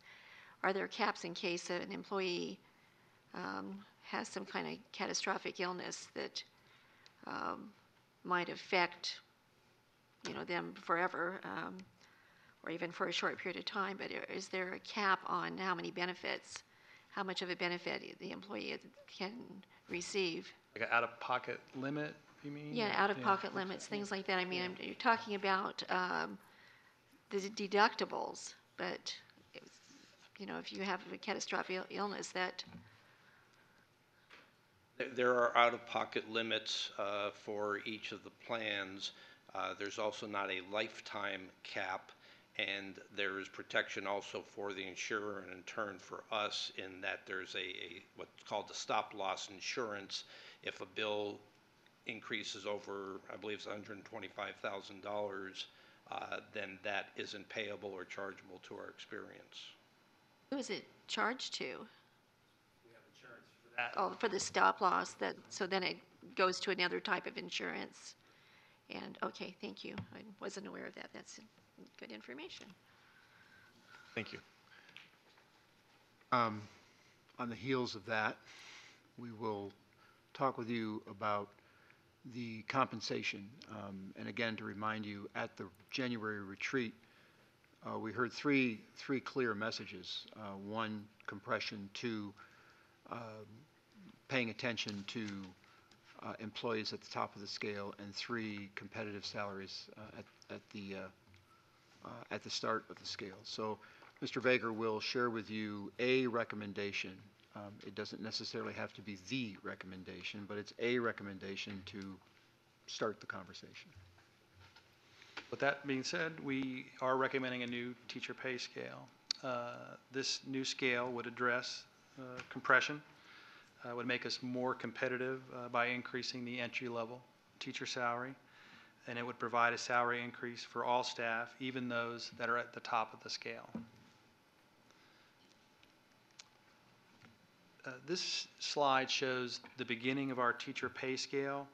Uh, You'll notice a couple things. It's a little bit complex. We have six columns. Also, on the left-hand side, you'll notice that we have 14 years of experience compressed into the first seven steps. Um, Our scale, uh, as you progress through each step, is a 2.5% increase. And so what we've proposed, and also I apologize, point out in this scale, we have the six columns, in- including the bachelor's plus 15 and the master's plus 15. So we're proposing a new scale that would be, have less columns, be a simpler scale. It would have no compression, it would have no multi-year steps. And this is what a proposed scale could look like, and this would just be the first uh, eight steps. Um, The steps would be narrower, so instead of two and a half percent in between each step, they'd be one and a half percent. Uh, But this does provide the opportunity for the board to have consistent step increases in future years, as long as we're budgeting that 1.5%. Um, The entry-level salary, you can see on this scale, is, uh, for our bachelor's, is $41,500. Um, And then it progresses through the whole scale. Um, Speaking of starting teacher pay, uh, this slide shows where we rank compared to the other school divisions we compete against uh, in the region uh, for talent for starting teacher pay. Our current bachelor starting teacher pay is $40,301. And so what we proposed is to increase it to 41,500. That put us in the middle of the pack, assuming that nobody else changes their teacher pay scale. So it's a step in the right direction, um, you know, to help us be more competitive as we recruit teachers. Um, I've also given you a copy of a proposed scaling. It's the next handout that's underneath your pile there. Uh, But this proposed teacher scale uh, would align, you know, years of service. There'd be no multi-year steps. There'd be no compression. It does simplify the scale because we would combine those plus 15 columns. So the- So the bachelor's plus 15 and the bachelor's column, we would combine it and actually benefit the teachers. And then combine the plus 15 column from the master's and the master's plus 15 to also benefit the teachers. Um, It'd make us, this new scale would make us more competitive, um, and it would uh, help us, uh, it would, would also have, like I said, the increase of 1.5% between each uh, step. Uh, Every teacher would receive an increase on this uh, scale. Uh, Even if you're at the top of the scale, we're, we're talking about, we would even expand some of the, some of the columns to add some steps uh, in those, uh, in those columns. So the Can I just, can I just interrupt you there Mhm. for a second? Yes, sir.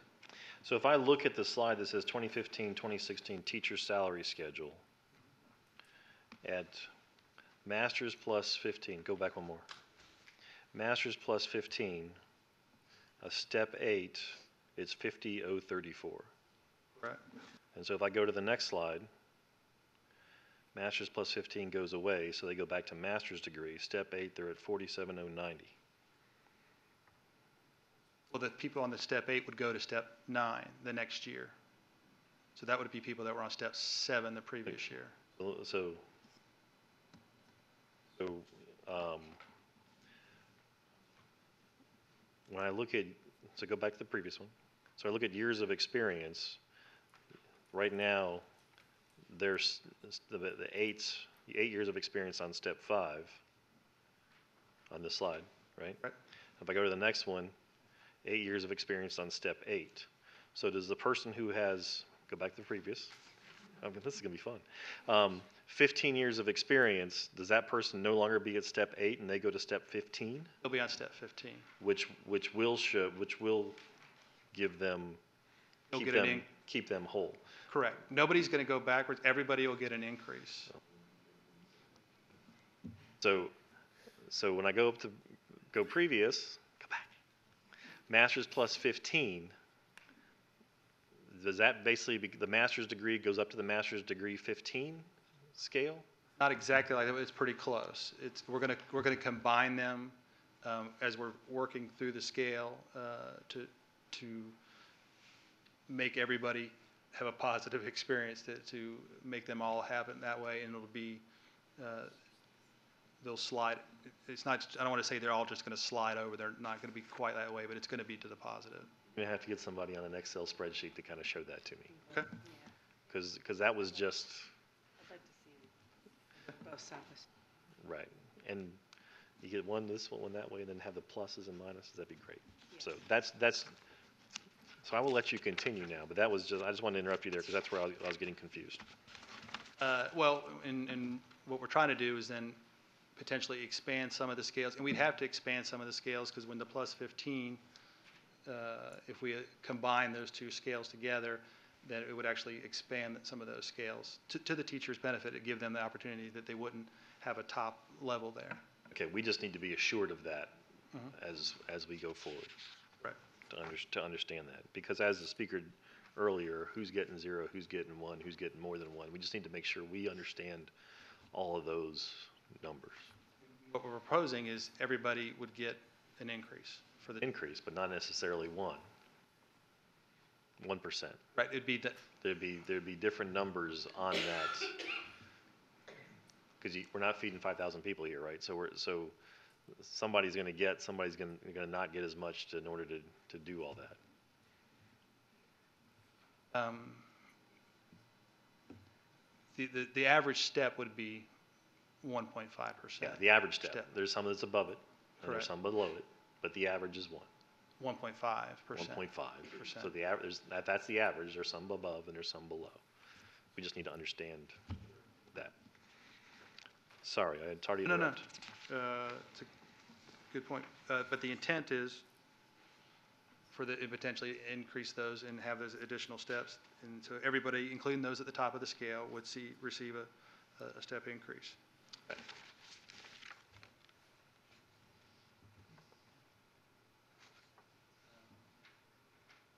Obviously, this is a, a big part of the budget. uh, So the, uh, when we do a 1.5% uh, average increase for teachers, we also do a 1.5% average increase for all employees, so for support and administration.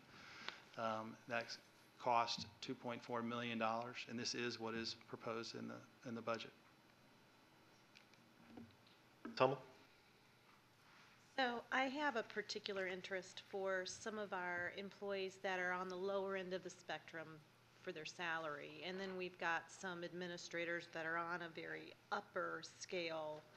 And is there going to be any kind of um, attention paid to uh, when you talk about the average of a 1.5%, that someone who's making, you know, in the 90s, 100,000, whatever, versus someone who's making in the 40s or 50s, where are you making an accommodation for salary for the, I'm just wondering if you're making, or at least is that going through your thought process? I mean, the, I guess we start with the teachers, and I guess the, the idea is to, the teachers would be a 1.5% increase Take the average. teachers out of it. I'm, Right. I'm just talking the, st- the non-teachers, the, Well, we traditionally follow them, and, and uh, what that we do for, we try to have all the groups of employees be consistent in terms of they're all going to get a one and a half percent average increase. But no, we haven't broken it out differently. Um, I'm not sure if I understand. I have a question. Uh, oh, Miss, are you, are you done? Um, it's just that an extra, um, hundred dollars a month means a lot more to someone at a lower end of this, of the pay scale than an extra hundred dollars a month at the upper, s- that's all, I'm just. Dr. Constantino? Uh, Only from a perspective of previous boards. Um, Previous boards have always desired to treat all employee groups the same. If that's a change, that certainly is at the will of the board, um, but we have not recommended in the past that we treat employee groups differently. I'm- and- Mrs. Young. And I agree with that. However, um, if we're treating all employee groups the same, that includes teachers that are at the top of the pay scale. They should not be getting less than a 1.5% increase also. Um, Yes, they're making more than someone who's at the lower end of the scale, but to continually degrade them according to a lower percentage isn't fair either. And um, so I think in, in I think if we're going to do this, then it should be an equal increase between steps. So if it's 1.5 for the um, teacher who's at the second year of the step, then I still think it should be a 1.5% increase for the teacher who's at the 20th year of the step, or haven't seen the rest of the scale. But I, I don't think it's fair to make them less than the person who's at the bottom. And, and if we're giving everybody a 1.5%, then I think that applies across everybody equally. So, Mrs. Cook? Thank you, Mr. Chair. Thank you, uh, Mr. Baker. This is really wonderful work. I know you've spent a lot of time thinking about this and trying to figure it out. I would like to see, uh, reiterating what I was saying earlier, a document that reflects the old as it transitions to the new.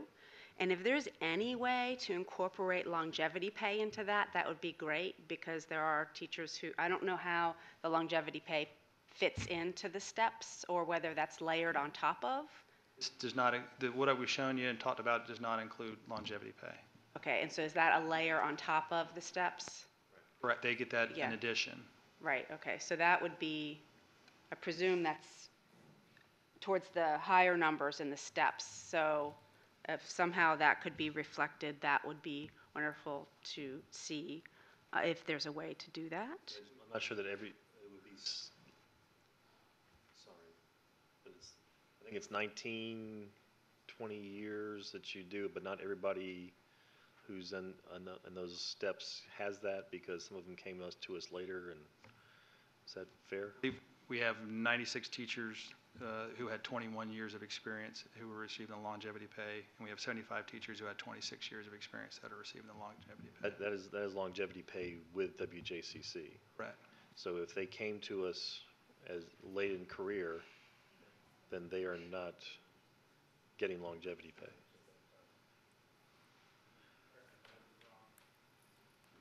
Predates me, so. At the time the program was in effect, it was years of teaching experience. Total. So someone could But bring. it was with years of WJCC or experience not? Beforehand.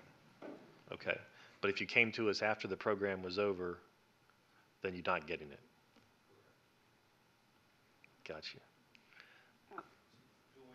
The numbers we've showed, it- it didn't, we weren't talking about So longevity that's pay. a layer over this, though. That's, I they get that in apologize. No above addition. And we have, we were not recommending any, any, we haven't recommended any, any changes with that. Right, no, I understand that, thank you. Um, Nor am I, but I just want to understand how it structurally fits in, um, if that's at all possible. Um, So I appreciate adjusting uh, entry-level pay for teachers. I think that's important to keep us competitive. But um, that also then, uh, but our, never mind, I'll change the, let me ask another question. Um, The, the PowerPoint says every teacher will receive an average of 1.5%. Just building on what Mrs. Hummel was saying, that also conveys to non-teaching staff, correct? Okay. Um, And also building on, I'm sorry, were you going to say something? I just said correct. Okay.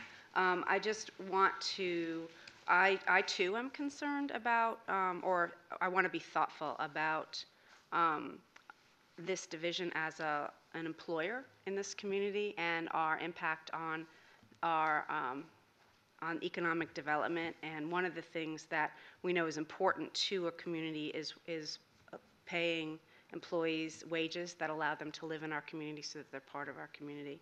And so I was wondering if you could talk a little bit about um, what, how many employees in, that, that are in, that we pay under um, what is considered a living wage for one person living in our community, um, which is $26,560 annually.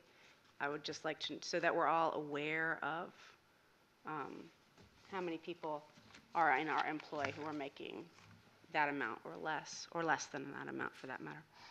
We've, we have, for 26,000, uh, from the- your definition of the living wage, 26,560 uh, employees, we have 1,235 employees making at least that much. Making at least that much. So how many would that mean that make less than that?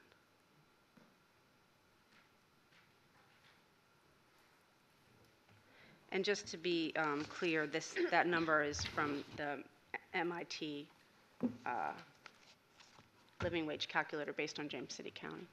I don't have exact numbers, but I have percentages. That'd be Um, lovely, thank you. 31.69 of division employees make less than 26,560 annually.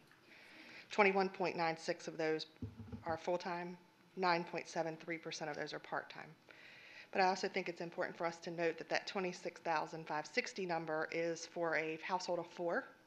That's the data that we read in that report, and we don't know everyone's family situation. So they may be the sole provider, which that would become a variable.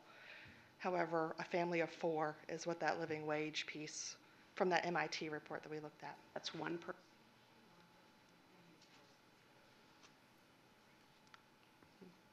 We'd have to go back and look at that. yeah, I would, that'd be helpful. Thank you, this is very good work. Dr. Beers? I just want to come back to that 1.5, because I, maybe I heard something different earlier, that there would be some teachers who would, whose uh, increase would be less than 1.5. Is that true or not? Am I, am I under- misunderstanding? When you say average, that means somebody, some teacher is going to get less than 1.5%, correct? It could be, because some of the scales, earlier in the scale, the, the step wasn't, and even in the past, wasn't even, wasn't 2.5%. Okay, so I, that, I'm, that, I'm, I'm uncomfortable with that. Because when we talk about um, our administrators. Uh, And I, I, I agree with Dr. Constantino, that has, been- Constantino, that's been the tradition here, you know, for as long as I've ever been here, is that, is that administrators get the same um, uh, average increase as the, as the others.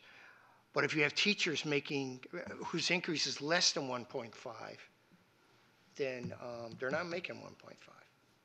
Their increase is not point, is not 1.5. So I'm, I'm, uh, everybody is not getting a 1.5 raise. Is that correct? It's an average. So we, so we can't keep, so if everybody's not getting a 1.5, um, I guess um, uh, I'm, I'm, uh, I'm, a little- I'm, I'm in a quandary about that, because if that's the number we're going to use to compensate uh, individuals that are uh, paid far more than that, than that classroom teacher, I'm, I'm concerned about the classroom teacher is only going to get 1% or less.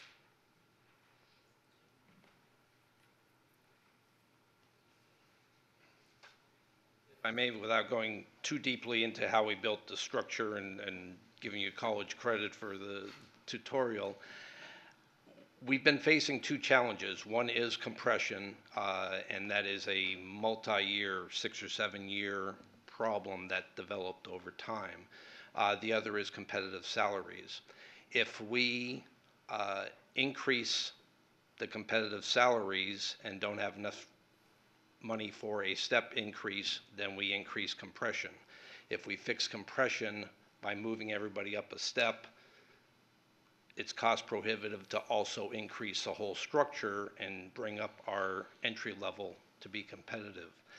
What we've tried to do in this is to correct both by stretching out the years and giving an increase to the people in the first block. We can't correct a seven-year challenge in one year. We will be getting to the point where everyone will be across the board getting the one and a half percent increase if the structure is approved that has 100, one, one and a half percent in between the steps. So we'll be able to get there. What we're doing isn't dissimilar to what other school divisions who are fighting the same issues of compression are facing. And in studying other school divisions, they have variations between what they're paying in the steps right now, trying to fix the same thing that we are. So part of the challenge is to, um, to take a multi-year issue and fix it as quickly as possible, and that's what we're trying to address.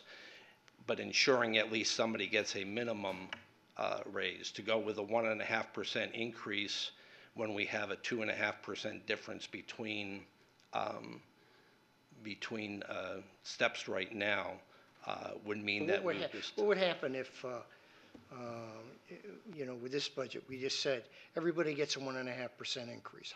Is that, how- how much more or less would that total amount of um, dollars be compared to the system that you're, you know, the- what the- what you're, what you're, what you're proposing now? Uh, Well, if we're saying 2.4 million to give everybody on average one and a half percent, then, then it'd be approximately this, this, We keep coming back to that average thing. I'm- I'm, No. I'm talking about, and if you, and you don't- and, um, if you don't have the numbers now, that's fine. I'd just like to know what they were. If you just went across and said, okay, you know, we've seen how things have been the last few years. Let's give everybody a 1.5% raise. You could do that, I suspect, and we'll defer to, to finance on the dollar figure, but, but I would just say that if we go with a one and a half percent for everybody, we will not be able to change the structure. It will be a cost of living adjustment, which would help increase the entry level pay and everyone's pay, but it's going to exacerbate compression because we can't move people up a step. They would have to stay where they were on the scale, and it's going to add one more year of But compression. they would get a to the 1.5% challenge. raise. They would get one point five percent, but Right, the okay. compression would But worsen. the teacher who started this year and the teacher who starts next year would be getting the same pay. You- You would make, you would add more compression. Just for information purposes, every 1% salary increase is about $841,000. So I think that the point I was trying to make before, whether the one and a half percent is across the board for everybody or on average for everybody, the money is going to stay approximately if we're increasing our salaries by one and a half Sure, so the step increase means that somebody will get a two and a half percent raise, because you're gonna go up a step, correct? If we kept the structure the Yeah, way it that- is that- now. That's what I mean, the structure you have now, yeah. Yeah, we would, we would keep the compression and people would go up one step and get a two and a half percent increase in proportional costs Well, I know it's a associated challenge, I it. mean, it, it's, a- it's a, uh, almost a- a- any organization that, that has, uh, um, employees with, with, uh, uh, with a fixed budget and reduced budgets, uh, they're all, you know, we've all faced that, so I, um, it's not an enviable position to be in, I know. So, so, uh, to make sure I understand this, right, if, if, if we were to give everyone a one point five percent raise, that would be two point four million dollars, because that's what our salary line item is. So everybody gets the one point five percent, that's a number. That's fixing the compression.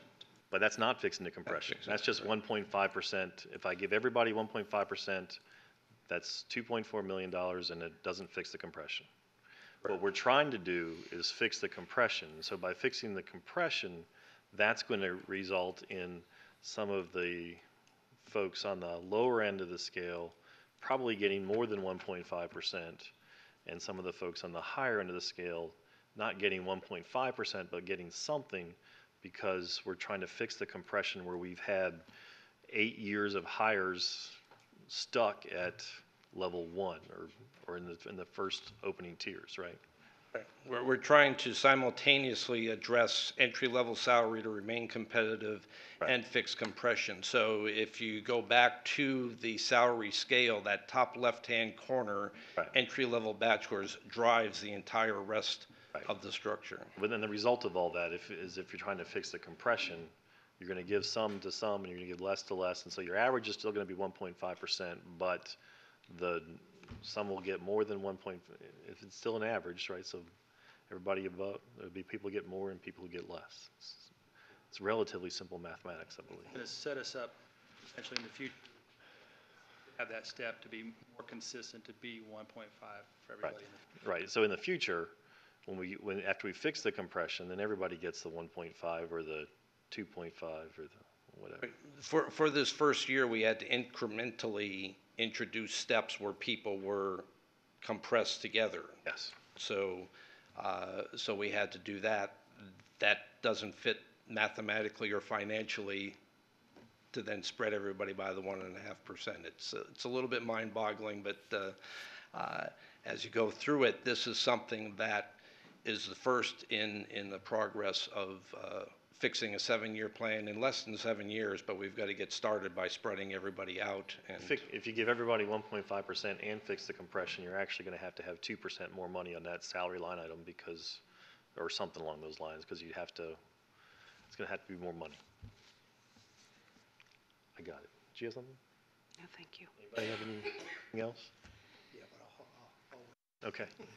Um, anybody have any more com, Mrs. Young? Yeah, Are, are the administrators on a pay scale also on a, um, as, you know, a tiered kind of pay scale where they have first year uh, administrators, second year, third year? Yeah, theirs is a, a, a pay range, and then, uh, they'll move through the range. They have a, a starting, a midpoint, and an end, and they'll, if we give a one and a half percent increase, they'll move one and a half percent into that range.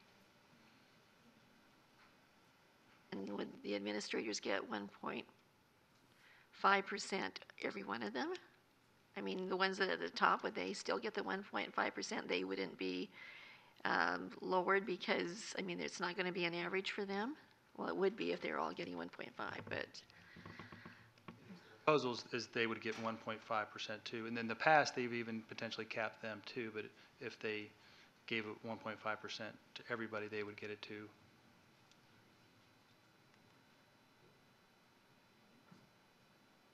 I do understand the issues you're facing, but uh, it's hard. I think it's really hard because as, if when you're capped at the top of your pay scale and you're getting close to retirement, that, that affects your retirement when you retire, especially if you're going to, to get Social Security. I know that's one of my peeve issues, but it does affect those teachers that are at the top of the pay scale if they don't get that increase. Because that's how their social security is figured, so. And what we're proposing is to actually expand the scales to give them another opportunity to get another step. It, Show us that. I, I will. It, it's, it, in the draft that you have, it, it, it has it there too, but I, I need to do a better job to show you the current versus that. Thanks. Are there any other conversation, questions on board members about compensation or health insurance? Are there any more comments from board members about the budget in general? Mrs. Cook? Um, it's about buses, Mr. Baker. Oh, Mr. Chair. thank you. He's, he's running for the hills. Mr. Chair, I would just like to better understand the recommendation in here um, of, of, in the superintendent's budget as it pertains to buses. If you could just help me understand that a little bit better, I'd be most grateful. In order to try to give you a proposal that met the requirements that we were facing to make our request to the county and city reasonable, we looked at what our bus replacement plan looked like. Um, In fiscal year 17, there are 14 buses that will reach 15 years or older. Um, In fiscal year 18, there are no buses that will reach 15 years or older. However, I do want to remind the board that we do have in our current fiscal year 16 budget, uh, money from the county and the city for three buses. That's budgeted. We did hold off on the purchase of that to make sure that enrollment held true. So we are going to bring to you a proposal to purchase those three buses before we reach the end of the year. Additionally, the city has allocated funding in our year-end spending plan to purchase one bus. So in a future meeting, you will see the purchase of four buses come before you, but it's important to note that that is funding that has already been allocated in prior budgets. That has nothing to do with our recommendation going forward. I know it's probably the last thing you want to do, but could you, there was a wonderful grid of the bus replacement plan. Could you reproduce that with current numbers, maybe including these four buses, just for those of us who have poor memories, so that we just have something? Those- The three buses that were allocated in our fiscal year 16 budget are included on that graphic to show that we purchased nine buses this year. Okay. So we will be able to move forward by one bus with the city approval of the year-end spending plan for one bus.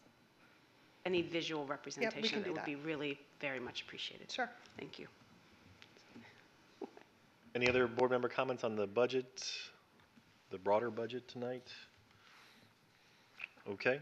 Um, Thank you, Mrs. Berta, Mr. Baker, Mr. Andre, all the rest to, to, to help us understand where we're going. Uh, We will continue this discussion going forward. So I know there's been a lot of good, a lot of- good work by a lot of good people, and uh, it's, a- it is a complicated issue, and we'll keep moving forward. That brings us to 11.01, board members. Any board members have comments tonight? Have them, but I'm, Mrs. Young? Uh, yes. Is it my turn? Yes, ma'am. Okay, uh, during the organization meeting, we asked Dr. Beers to, to review Robert's rules, rules of order for small group and large group. Um, and to de- determine the pros and cons between small and large group rules as it applies to us as a, uh, as a board. And I request that we place it on the agenda for our next meeting, um, our next work session, that we discuss it in, in depth and, uh, review uh, best practices and, and talk about how we would like to see our board operate. Okay, Assuming Dr. Beers will be ready next meeting, we can do that? If, I, I really support that, I'd like to do that. Okay. One more too. Um, and um, first of all, I, I, I do want to compliment. Um, um, I, I'm not over here on timeout. I want you to know that I'm, I'm not in timeout, although it may seem that way. Uh, but I, I do want to thank the calendar committee and the budget committee. That is a tremendous amount of work. And having been on a calendar committee before, I applaud you.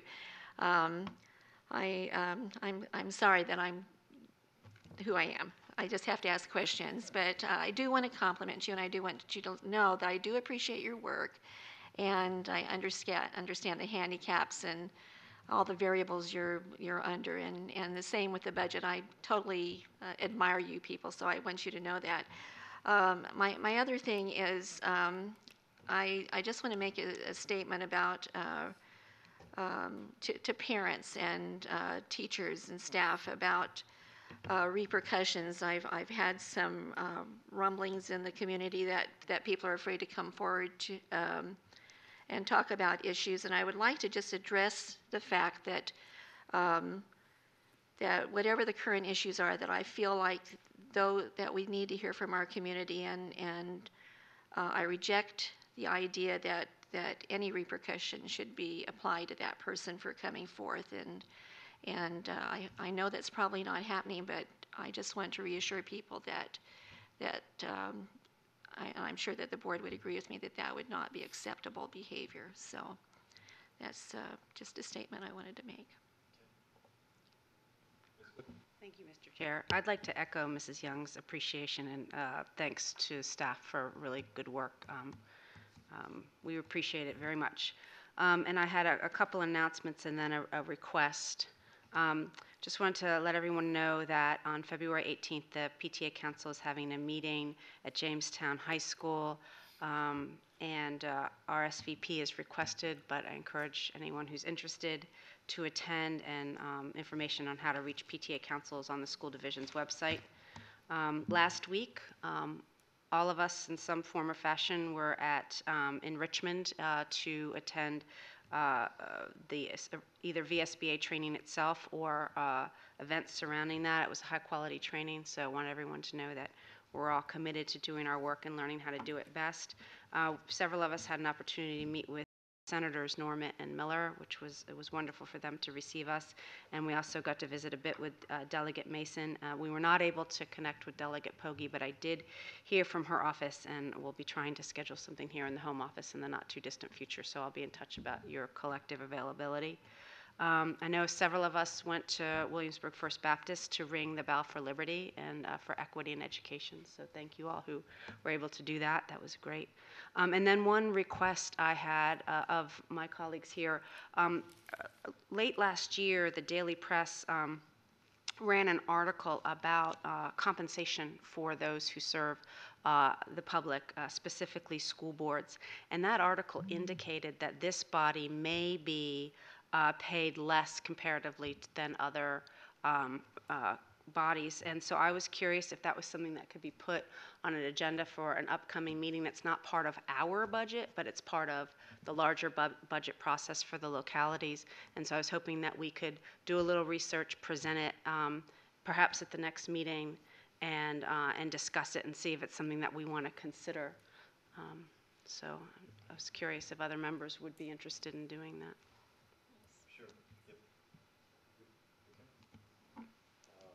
Do that on the, put that on the work session agenda, Ms. Sarza.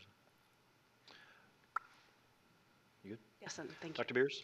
Uh, First of all, uh, I I- I would like to echo comments made about the uh, uh, Finance Department. Um, It is an arduous uh, task, and uh, I very much appreciate the uh, number of hours that it takes to put that uh, information together, and uh, even though I ask for occasionally additional information, I hope, I hope you don't take that as a, as a criticism, because I very much respect the work that you do, and uh, um, and your uh, willingness to, to, to help us as well, uh, try to deal through um, some of these difficult financial times. Um, on maybe a little more positive note, I would very much like to congratulate the uh, newly minted National Board Certified um, teachers. Um, It is a, an arduous task. Hopefully, it's a, it's a meaningful one and um, um, a, uh, um, a- a- an activity that uh, allows teacher, allows a teacher to really fully understand and appreciate what it is to be a, uh, a real professional. Um, And, and I'm glad, Mr. Superintendent, that we have as many as we have um, in our district. I, th- I think that's, uh, that speaks well for the district. Um, So I, uh, I very much appreciate that. Um, I, I would like to, um, uh, I- I'd like to put something on on the agenda. This sort of came out of a- of uh, a comment that the superintendent made, Um, and I'd like to see this on, on a future agenda uh, meeting, Um, and that is to review the out-of-the-zone school attendance policy. Um, I would very much like to know, uh, for example, the number of students um, who uh, seek that, and of those who seek it, how many of them um, are allowed to do that. I'd also like to know the number of athletes that that uh, covers as well, um, how it's implemented, and probably just as importantly, um, how it's monitored uh, and enforced. So I, I hope I've got support on the board for doing, okay. Yeah, I think we, I think we got some of that last fall, but we can, uh, we can revisit that. Yeah, I, w- I- I'd like that. That's it. That's all? Ms. Hummel? Yes, I would like to echo um, everybody's uh, compliments here for the difficult task of both the calendar committee and the budget report. And being grilled by us is no fun, uh, fun task. So we, we just are asking those questions that we think everybody out there is asking. So bear with us. And um, I wanted to pass on a compliment. When I was at, uh, in Richmond this past week, I talked to uh, an associate of mine who is a, a superintendent of one of our neighboring schools, and he said, You are so lucky to have Ms. Berta working in your division. She is a treasure, and so I do want to put that compliment out there that you are well respected not only in this community but beyond this community. Um, I wanted to uh, second Dr. Beer's uh, concern with the uh, out of zone policy. I, I also have heard uh, from different citizens that for whatever reason they, they think that um, we should be relooking at, at the policy and making sure that the policy is being followed to the law. Um, and then on a positive note, I would like to let the community know that we've got almost $70,000 out there, people, with that WJCC scholarship application. That is a lot of money, and I think every student should have, uh, should know about it. I'm wondering if it's possible to put a link for it on the website so it's easy for our parents to be able to direct their student, their children to make, I know because I'm involved with it in the past, they've made it uh, an electronic um, survey kind of application. And if there's any way that we can make it easier for the people, the students in our community to be able to apply, that would be great. That's it. That's it? Um, Holly, Ms. Taylor? Yes, I'm glad to be here, and um, I, I echo ditto to all the awesome work um, that that everyone has been doing with the calendar and and the budget. Um, you know, it, it takes us a while to even wrap our head around it. So um, um, we're getting there. Um, also enjoyed the VSBA conference up in Richmond this week. Um, that was great. And um, something I was hoping we could talk about maybe at a future meeting would be the James Blair project and um, its impact on the budget and future budgets. Um, if we could discuss that at a, at a later time, that would be great. Thank you. We will, we'll have opportunity to discuss that. We have a construction management contract coming forward and that kind of thing, so it'll um, obviously be on future agendas. Uh, First of all, I'd just like to say, uh, um, echo the, the comments that have been, have been made about the administration and the finance department and all that. But I'd also like to say that I'd want to um, thank my, uh, my fellow uh, board members up here for, for uh, the good work tonight, um, asking great questions, uh, very uh, thoughtful questions, and I, th- I think uh, I, I appreciate appreciate the energy that you put in in preparation and uh, the questions that come forward. So I think that was that's well done. Um, I'd also like to thank the, uh, the this board for their commitment to training, going to the VSBA, everybody going to Richmond, everybody participating in uh, meeting with our with our legislators. That uh, that um, you know there's if you signed up for this gig thinking it was a twice a month thing, you're obviously mistaken. Um, it's this is the, the commitment to being on this, being on the school board and to doing the job well uh, is takes a very a very active commitment and uh, um, is don't try to figure out how much you get an hour by the way because it's a little insulting, so. um, And, but, but then again, that's not why we do it. We don't do it for, for any kind of compensation. We do it because of the 11,000 students and the uh, 1,800 employees that are here, and as well as the greater good of the community. So uh, thank you for, thank you all for tonight. Thank you all for your questions. Thank you for your activity in the schools I- and, and getting out into the schools. I really appreciate the work that, uh, the work that you, that you all do and uh, um, how quickly we're, we're, uh, the, we're coming up to speed with the new members. So, um, so on to, on to upcoming meetings. Uh, There will be a uh, closed session and special called meeting to interview candidates for the Powhatan District on February 19th, on this coming Friday, uh, at uh, James Blair, room 501.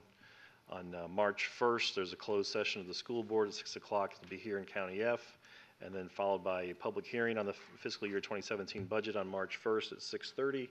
And then immediately following that, there's a work session, um, also obviously here in the boardroom in F. Uh, There was another closed session meeting March 15th at 6 o'clock that'll be here, as well as uh, a regular meeting immediately following that at 6:30 um, here in Building F. For now, um, we will adjourn from this meeting, and in 10 minutes, which is 9:05, we will convene for a special called meeting back in the, in the boardroom to interview uh, a candidate for the Powhatan School Board seat. So hopefully on March 1st, we'll have uh, a full complement up here, and uh, Mrs. Young won't be ostracized to the corner over there. So- So without objection, we're adjourned.